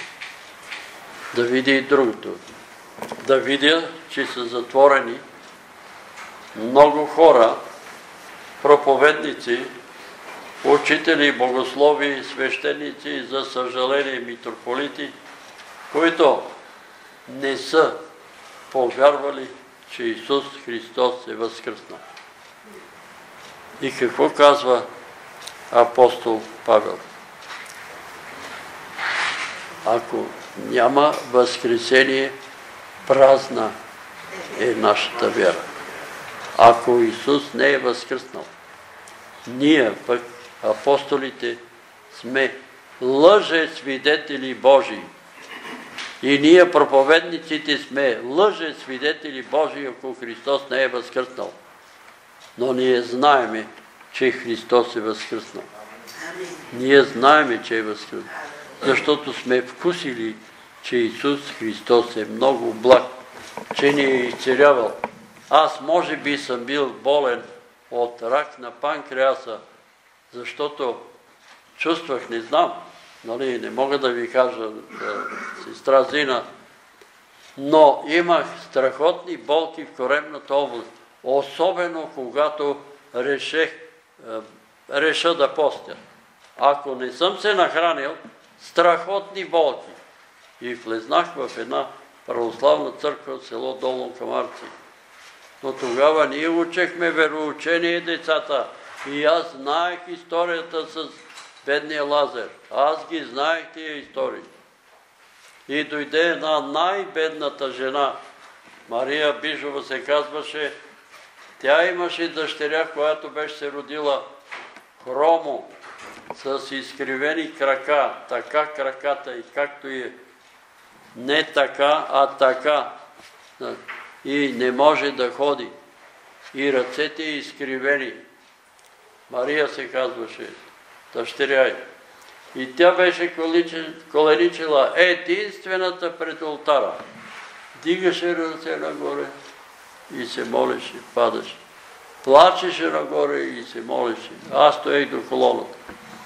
Погледнах я и си казах вътре в мене. Господи, не знам кой ще бъде в Твоето небесно царство. Не знам и аз дали ще бъда там. Но за тая баба Мария съм абсолютно сигурен, че ще бъде в Твоето небесно царство. Тя толкова много прилича на бедния Лазар и на каещия се Митър. И тогава усетих ръката му. Ръката му тук на главата ми. Усетих я, че мина тук надолу. Натиснаме тук през коребната област. Так! Извади нещо. От тогава минаха 70 години. И когато ме гледаха на рентгена, рентгенолога каза, преживял си нещо много сериозно, защото стомахът ти е оставен. Стомахът ти е оставен. И от тогава болките не се появиха. Ето го. Вкусил съм го, пробвал съм го и той е жив. Кога? Когато Словото ви пребъдва във вас, когато мислите според Божието Слово, тогава няма да се грешите.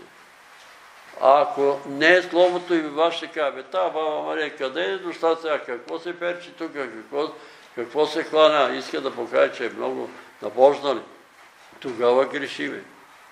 Грешиме. Добре, брати и сестри, до тук ще се молиме и ще помоля да продължиме с...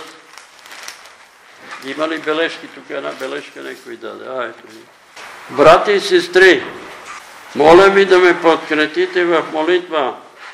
Господ да премахне всякаква подуване на стомаха и на очите и да очисти тялото ми от нечисти духове, от магиоснически заклинания. Бог да ви благослови. Брат в Господа Борислав. Ще се молиме за Борислав. Ще се помолиме за всеки един от нас. Ще се помолиме и тогава да преминем към втората част. Ето ги тук са написани тия брати и сестри, за които се молиме. Ще прочита само няколко в началото.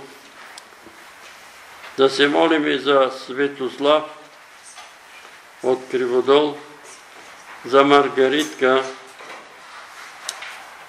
за Мария от Ямбол, за Недалко в Италия, за Антония и майка и Виолета, за Кристина Криси, която е между нас и си майка и Розалия, за Мариан, Велико Търново, за Владо, Владимир, на брат Кирил, сина му и Кирил, другия му син, за Петя, автоимунно заболяване, да повярва Бога,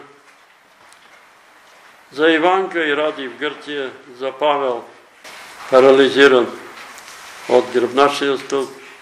Брати и сестри, не, не вижте, искам за Павел да ви кажа. Поне 10 пъти съм му казал. Моля ти се, не си оперирай гръбначния стълб.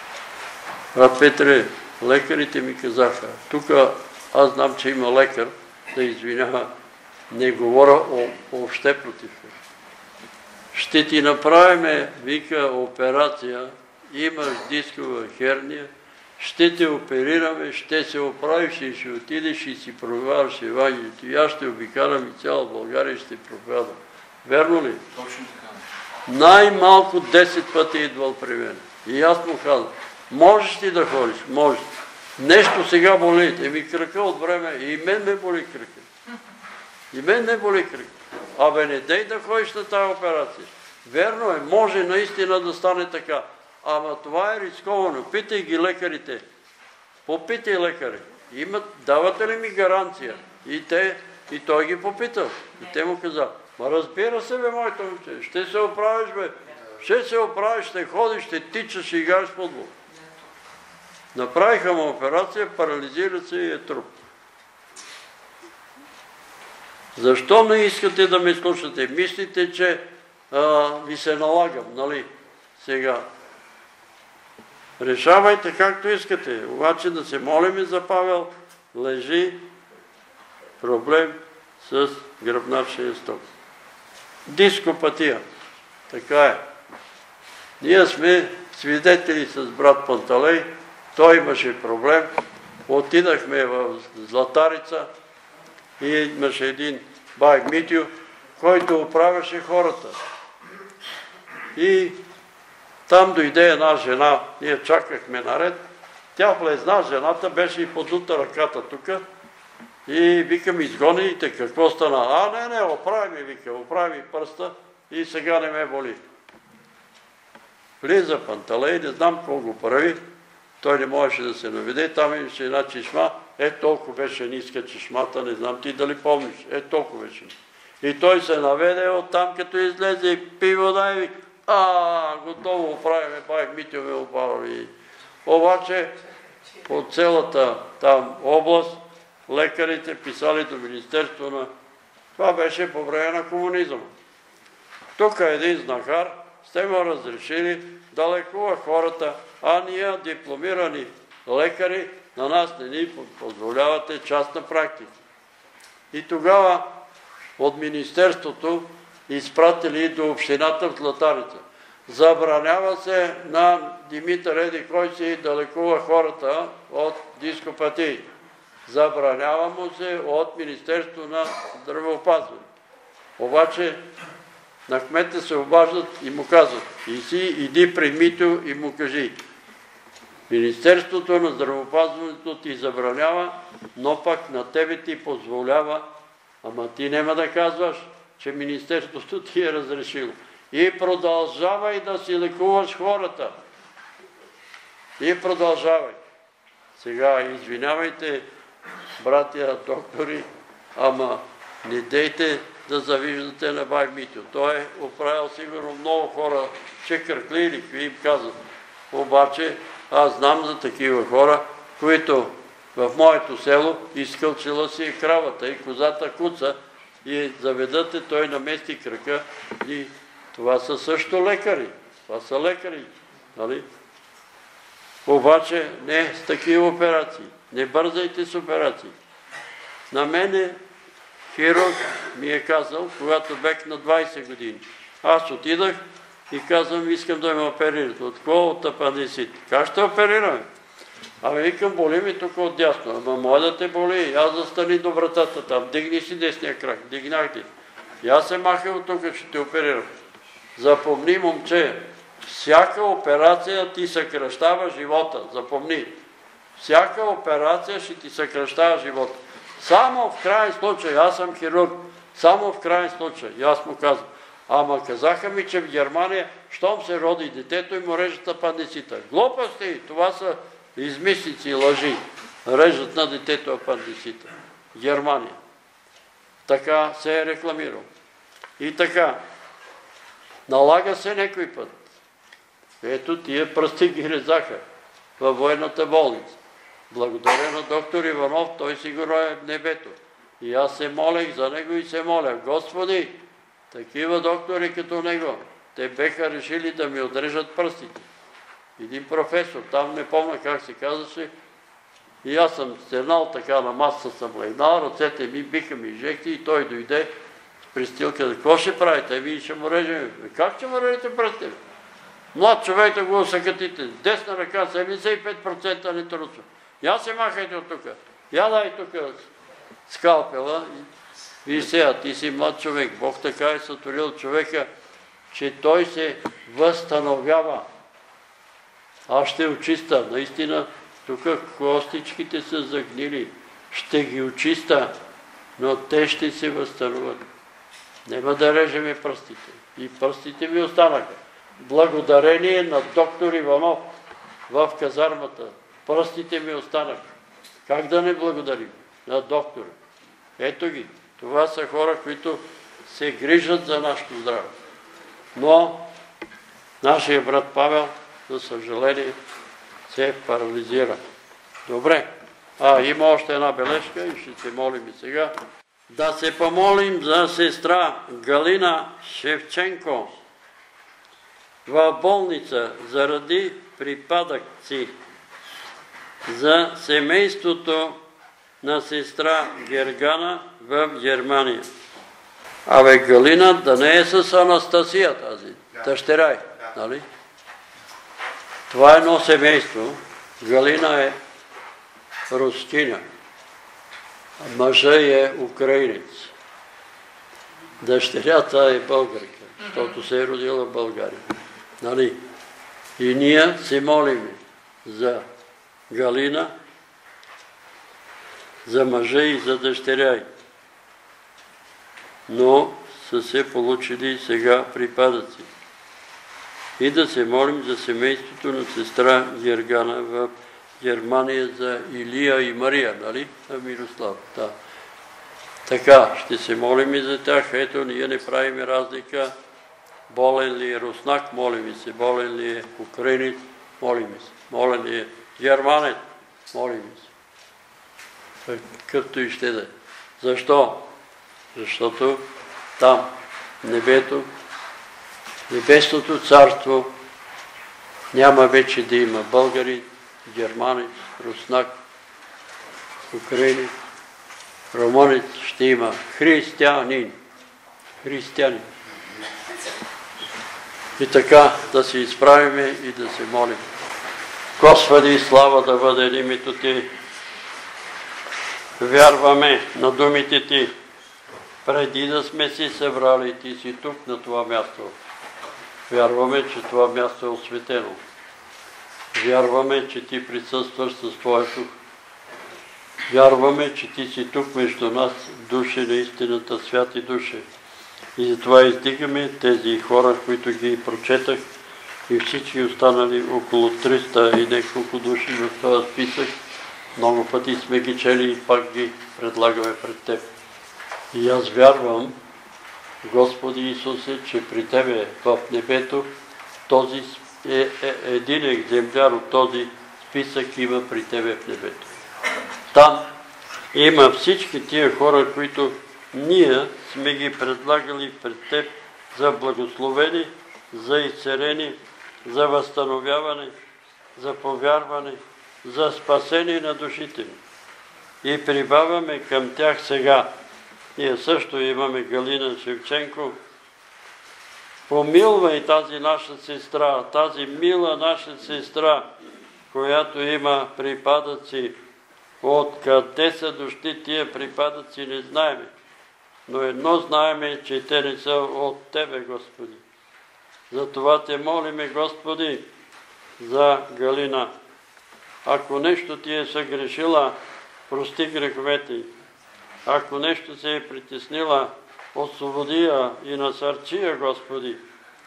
И ако е допуснала някакъв окултен грях, молиме те да й простиш. И този, ако пък е нападение от магиосници и сатанисти, върни този демон на припадъците върху главите на магиосниците, за да се покаят и да се спасат душите. Молиме те и за сестра Гергана и дечицата Илия и Мария в Германия. Господи, пази ги от всякакво зло. Пази ги, Господи, те са странници, българи в чужда страна. Там, където са, бъди с тях. Молиме те за Коста и жена му и дъщеря му Ани. И те са в Германия. Молиме те за Валерия и за Юра и трите им синове и снаха им и внучето им в Германия. Всички те са в чужда страна, Господи, странници, бъди им наставник, настойник, защитник. Помагай им, Господи. Молиме Ти за Борислав. Боже, помилвай го и опази го от магиосници, от сатанисти, антихристи. И сега те молиме, слез души святи между нас с Твоя огън. Изпълни ни със силата си. Нека Твоята сила да мине от Тебето на главите ни до пръстите на ръцете и краката ни. Слава да бъде името Ти. Моля Те, изпълвай ни със силата си. Минавай през нас със силата си, изпълвай ни, очиствай ни, Господи, благослови ни. Изцери краката ни, изцери костите ни, изцери ставите ни, жилите ни, изцери мускулите ни, изцери премахвай главоболия, изцери ушите ни, слуха ни, и цари зрението ни, и цари Господи панкреасите ни, и цари стомасите ни, и цари сърцата ни. Нормализирай, Господи, кръвните налягания. Молиме Те и цари, уния, които имат проблеми с диабета, дух на диабет, напусни телата ни. Напусни телата ни, напусни панкреасите, напусни кръвоносната система. Молиме Те, изцерявай вени, артерии, капиляри. Изцерявай, Господи, генетали. Изцерявай панкреаси, изцерявай всяка болест и напас у народа. Милост за нападнатите от лукавите духове. Милост за Криси, Господи, вършено освобождение и царение. Мир и радост дай в душата й. Милост за неделин, Господи. Развържи, Господи, го и цари го. Милост за Владимир. Развържи Владимир и цари го и освободи го. Милост за Любомила. Развържи и освободи и цария, Господи. Милост за всички останали, които имат такива проблеми. Молиме Те, Господи, изцерявай и премахвай в народа всяка немощ и всяка болест. И сега всички заедно желаем да Ти се помолиме с молитвата, с която Твоя син ни е научил да се молиме и като се молиме да казваме. Отче наш,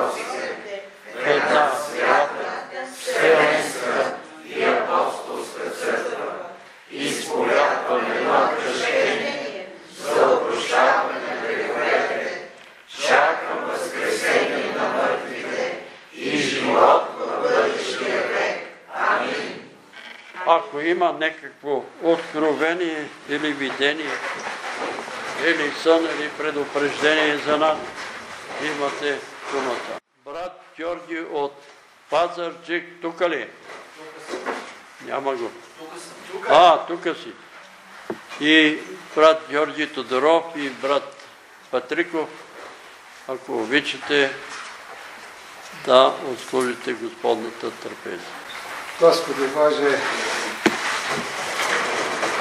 да се подготви, молим Те, да се приближим до Теб в покаяние, в желание да се докоснем до Твоята святост, Господи. Защото няма кой да е подготвен напълно, но Ти ни подготви, освети ни, благослови ни, очисти ни, Господи Боже, така както желаем, както Давид се е помолил, се е обърнал към Теб след греховете, които е извършил в една покайна молитва, дълбоко и искрено. И ние желаем по Негово подобие да се помолим така. Обръщане към Твоята чудна милост, Господи. И по тая милост да ни направиш годни да Те приемем Теб в себе си, да приемем Твоята кръв и Твоята плът, да се съединим с Тебе, Господи. И да станем членове, поданници на Твоето небесно царство. Моля те, брат, това само. Помилуй ме, Боже, по голямата си милост и по многото си щедрости изглади беззаконията ми. Много пъти ме уми от моето беззаконие и очисти ме от моя грях, защото беззаконията си съзнавам и моят грях е винаги пред мене. Пред Тебе, пред Тебе, еднички я съгреших и лошо пред Твоите очи извърших. Тъй, че Ти си прав Твоята присъда и чист Твоя съд. Ето в беззаконие съм заченат и в грях ме роди майка ми. Ето, ти обикна истината в сърцето и вътре в мене ми яви мъдростта си. Пораси ме си соп и ще бъда чист. Умий ме и ще бъда по-бял от сняг. Дай ми да чуя радост и веселие и ще се зарадват костите от Тебе съкрушени. Отвърни лицето си от греховете ми и изглади всичките ми беззакония. Сърце чисто създай в мен, Боже, и правия дух обнови вътре в мене. Не ме отхвърли от лицето си и светия Твой дух не отнимай от мене. Върни ми радостта на Твоето спасение и зластният дух ме утвърди. Беззаконните ще научи на Твоите пътища и нечестивите към Теб ще се обърнат. Избави ме от кръвнина, Боже, Боже на моето спасение и езикът ми ще възхвали Твоята правда. Господи, отвори устните ми и устата ми ще възвестят Твоята хвала. Защото да бих искал жертва, аз бих ти дал, но към всесъжение не благоволиш. Жертва Богу е дух съкрушен, сърце съкрушено и смирено. Ти, Боже, не ще презреш. Стори добро, Господи на Сион, по Твоето благоволение въздигни стените Иерусалимски. Тогава ще ти бъдат угодни жертви на правдата, възношение и всесъжение. Тогава на Твоя алтар ще възложат телци. Амин. Амин. Ето, Господи, ние се опътваме към думите, които Твоя свети апостол е изрекал, за да ни припомни вечерта, в която самият Ти предложи себе си на своите апостоли и ученици. И той каза, аз приех от Господа това, що ви предадох, а именно, че Господ Исус през нощта, когато бе предаден, взе хляб, поблагодари, преломи и каза, вземете и яще, това е моето тяло. За вас преломявам, това правете за мой спомен да преловим този хляб, който да стане Тяло Христо. тяло Христово. Господи Боже, прости ни, че разчупваме този хляб като Твое тяло. Господи, ние с греховете си също спомогнахме за Твоите страдания. И те молим да ни благословиш и да ни освободиш от тези грехове, а и от другите, които имаме наклонност да вършим, Господи. Направи ни да се отвръщаваме в греховете и по никакъв начин да не загубим тая благодат, която Ти ни даваш в съединяването с Тебе, Боже. Много си сторил Ти, Господи Боже мой, за Твоите чудеса и помисли за нас, и, и помисли за нас, кой ще се уподоби на Тебе? Бих желал да проповядвам и говоря за тях, но те брой нямат. Жертва и принос ти не пожела. Продукчи ми ушите, всесъжения и жертви за грях не поиска. Тогава рекох, ето, ида. В книжния свитък е писано за мен. Желая да изпълня, да изпълня волята ти, Боже мой, и Твой закон е в сърцето ми. Възвестявах Твоята правда в Великото събрание. Не, забравях, не забранявах на устата си. Ти знаеш това, Господи. Твоята правда не скрива в сърцето си. Възвестявах Твоята вярност и спасението от Тебе и не затаявах Твоята милост и Твоята истина пред Великото събрание. Не спирай, Господи, Твоите щедрости към мене. Твоята милост и Твоята истина нека ме пазят непрестанно. Защото злини безбройни са ме обкръжили. Постигнаха ме беззаконията ми, да дори да виждам не мога. Те са повече от космите на главата ми. Моето сърце ме остави. Благоволи, Господи, да ме избавиш. Господи, обързай ми на помощ. Да потънат стид и срам всички, които искат гибелта на душата ми. Да бъдат върнати назад и да бъдат предадени на присмех уния, които ми желаят зло. Да се смутят от своя срам уния, които ми говорят добре, добре. Да се радват и да се веселят чрез Тебе всички, които те търсят и уния, които обичат Твоето спасение. Да казват непрестанно, Велик е Господ. Аз съм беден и сиромах, но Господ се грижи за мен. Ти си помощ моя и избавител мой. Боже мой, не закъснявай. Амин. Бащите ви ядоха мана в пустинята, както е писано, хляб от небето им даде да ядат. А Исус рече, истина, истина ви казвам, не Моисей ви даде хляба от небето, а моят Отец ви дава истинския хляб от небето. Защото Божият хляб е онзи, който слиза от небето и дава живот на света. А те му казаха, Господи, давай ни всякога този хляб. Исус им рече, аз съм хлябът на живота. Който дохожда при мене, няма да огладне. Който вярва в мен, няма да ожедне никога. Амин. Раздайте, братя, хляба на живота, плътта на Господа. Вземем Твоето тяло, Господи, и наш шаре, и на продадлава на Твоето царство.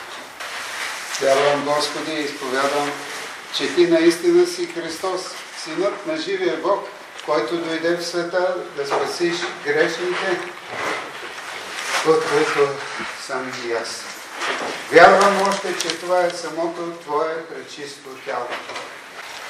И Ти, Господи, продължи да казваш, защото слязох от небето не за да върша моята воля, а волята на Отца, който ме е пратил. А волята на Отца, който ме е пратил, е тази от всичко, що си ми дал. Да не погубя нищо, а да го възкреся в последния ден. Амин. Истина, истина ви казвам, който вярва в мене, има живот вечен. Аз съм хлябът на живота. А хлябът, който слиза от небето е такъв, че който еде от него, не ще умре. Аз съм живият хляб, слязал от небето, който еде този хляб, ще живее веки. И хлябът, който аз ще дам, е моята плът, която ще отдам на живота, за живота на света. После и Господи взе чашата, а Исус Христос взе също и чашата и каза, тази чаша е новият завет в моята кръв. Това правете, колчем пиете за мой спомен. Защото колчем ядете този хляб и пиете тая чаша, ще възвестявате смъртта на Господа, докле дойде Той. Който еде този хляб или пие чашата Господне недостойно, виновен ще бъде спрямо тялото и кръвта Господне. Но нека човек да изпитва себе си и тогава да яде от хляба и да пие от чашата. Да се дигне Бог и да се разпръснат враговете му и да бягат от лицето му, които го мразят. Разнеси ги, както се дим разнася, както се топи восък от огън, тъй нечестивците да загинат от, от лицето Божие, а праведниците да се развеселят, да се зарадват пред Бога и да възтържествуват в радост. Пейте нашему Богу, пейте на Неговото име, превъзнасяйте оногова, който шества по небесата. Името му е Господ и радвайте се пред лицето му. Баща на сираци и съдя на вдовици е Бог в святото си жилище. Бог въвежда в дом самотните, освобождава от окови затворниците, а непокорните остават в знойна пустиня. Боже, когато Ти излизаше пред Твоя народ, когато шефстваше през пустинята, земята се тресеше. Дори небесата се топяха от лицето Божие. И Той е Синай от лицето на Бога, на Бога Израилев. Изобилен дъжд проливаше Ти, Боже, върху Твоето наследие и когато то изнемогваше от труд, Ти го подкрепеше. Твоя народ обитаваше там по Твоята благост, Боже. Ти приготвяше потребното за бедния. Господ ще даде слово, вестител, вестителките са голямо множество. Ти възлезе на височината, плени плен, прие дарове за човеците, тъй че и от непокорните да могат обитава о Господа Бога. Благословен да бъде Господ всеки ден. Бог ни възлага бреме, но Той ни спасява. Бог за нас е Бог за спасение. Във властта на Господа Вседържителя е вратата на смъртта. Но Бог ще струши главата на враговете си, косматото теме на закоравелия в своите беззакония. Господ рече, от Васан ще ги върна, ще ги изведа и с морската дълбина, за да потопиш ти ногата си и твоите псета, езика си в кръвта на враговете. Видяхме Твоето шествие, Боже, шествието на моя Бог, на моя цар в светинята. Отпред вървяха певци, отзад свирачи, по средата девици с стъмка. Да. Господи, издигам тази чаша, в която има вино. Но аз знам, че ти много пъти си го правил и сега ще го направиш и затова те моля, превърни това вино в Твоята кръв. Амин. Освети това вино. Амин. Освети всички уния, които ще вкусат от Твоята кръв. Амин. Господи, моля Те, ако има такъв, който се съмнява, помогни му и дай му увереност, че Ти си сътворил Вселената и колко е лесно за Тебе да превърнеш тази чаша от вино в кръв.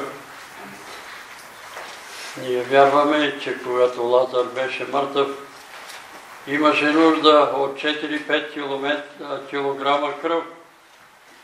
И ти само с една дума каза Лазаре, излез вън. Артериите и вените на Лазар се напълниха с кръв. И затова се, сега те молиме. Освети тази чаша. Освети людите, които ще пият от нея. И превърни това вино в Твоята кръв. Господи, вярвам и изповядвам, че Ти го направи. Заради мен и заради моите брати и сестри. И аз пристъпвам да пия от тази чаша, като вярвам, че вкусвам от Твоята кръв. А тя е огън, пояждащ за недостойните. Господи, да не ме изгориш, но да изгориш в мене всичко това, което не ти е угодно. Слава да бъде името ти. Те моля, нека Твоята кръв да потече по вените и артериите ми, да освети сърцето ми, да стигне в мозъка ми, да освети мислите ми, ума ми, да освети чувствата ми. Господи, и направи сърцето ми и тялото ми храм на Светата Тройца. на всички Ето пия от Твоята кръв. Благодаря Ти, че ми разрешаваш. Амин. Раздайте на Божия народ.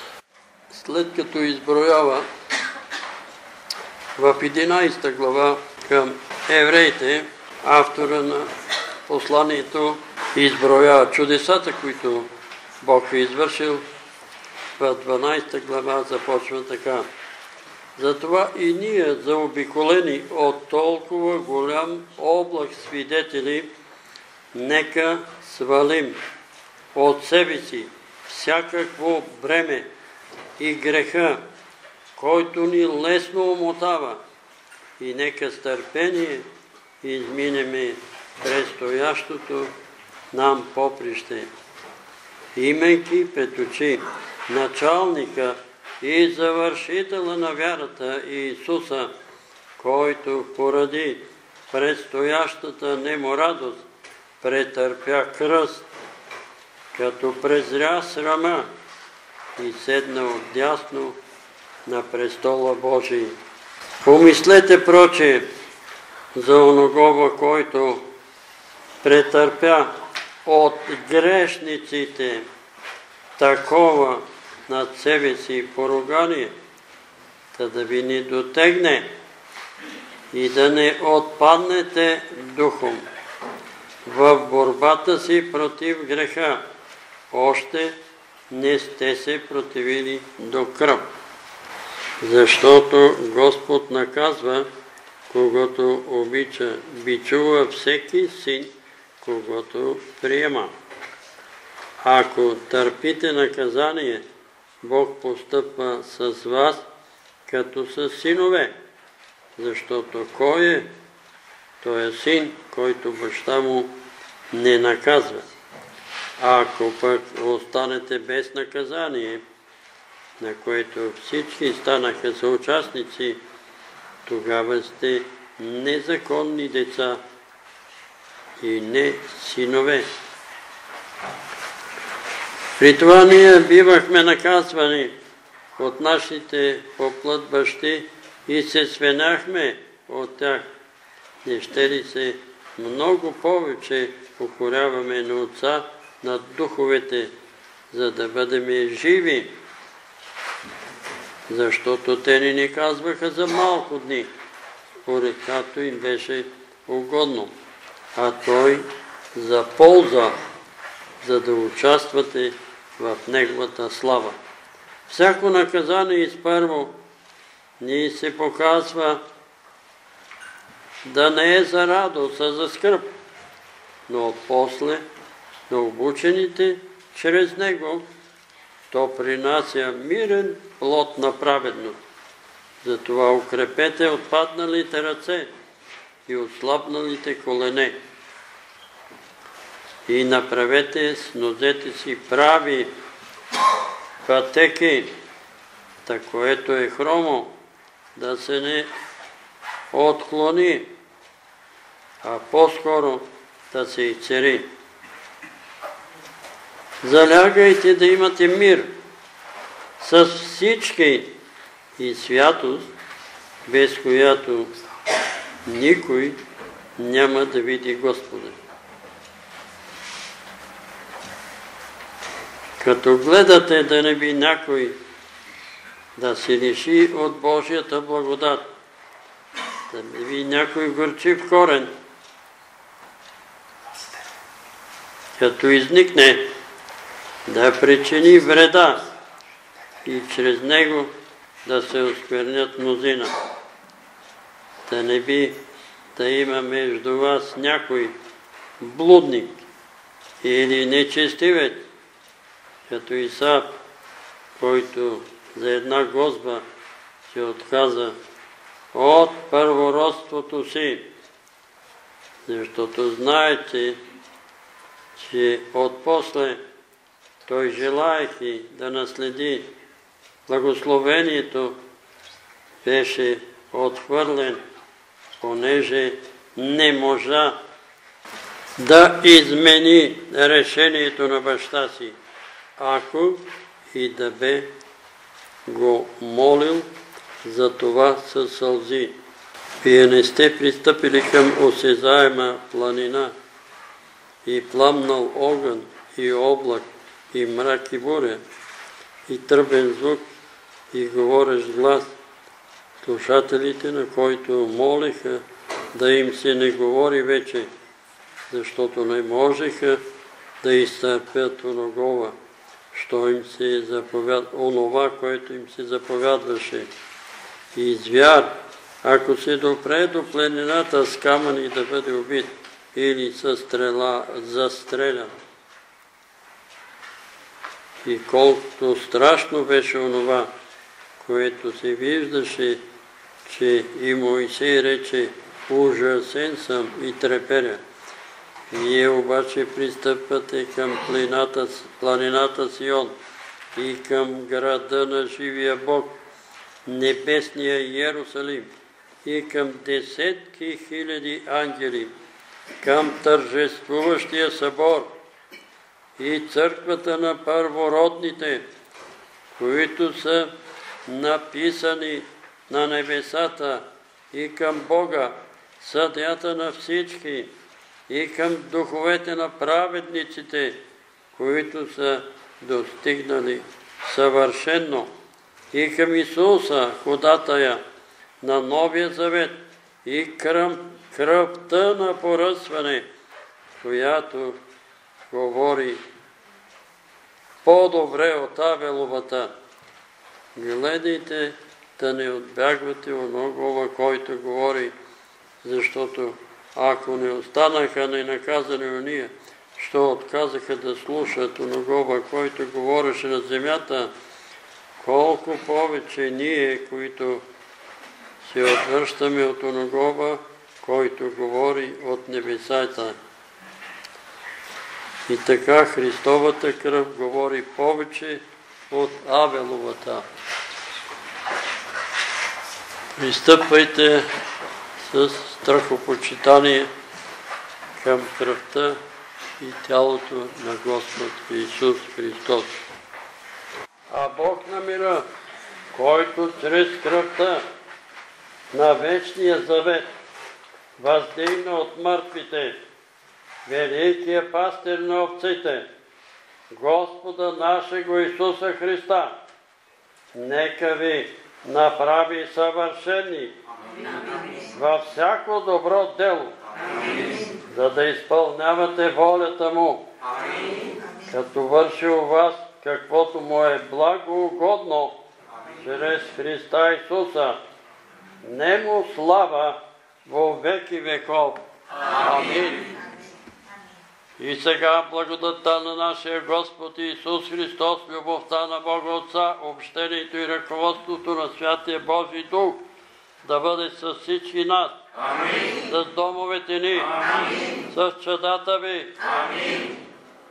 с родовете ни, с църквата на Господ Исус Христос на това място. Из цяла София, из цяла България, в Израел. В Украина, в Русия и по целия свят, от сега и до века. Амин. Господи, изди- издигам тази дреха, която е на Кристина. Моля те да я осветиш и да разпръснеш всички тия нечестиви, които я притесняват. Мир и радост дай на Кристина. Мир и радост на Родалия.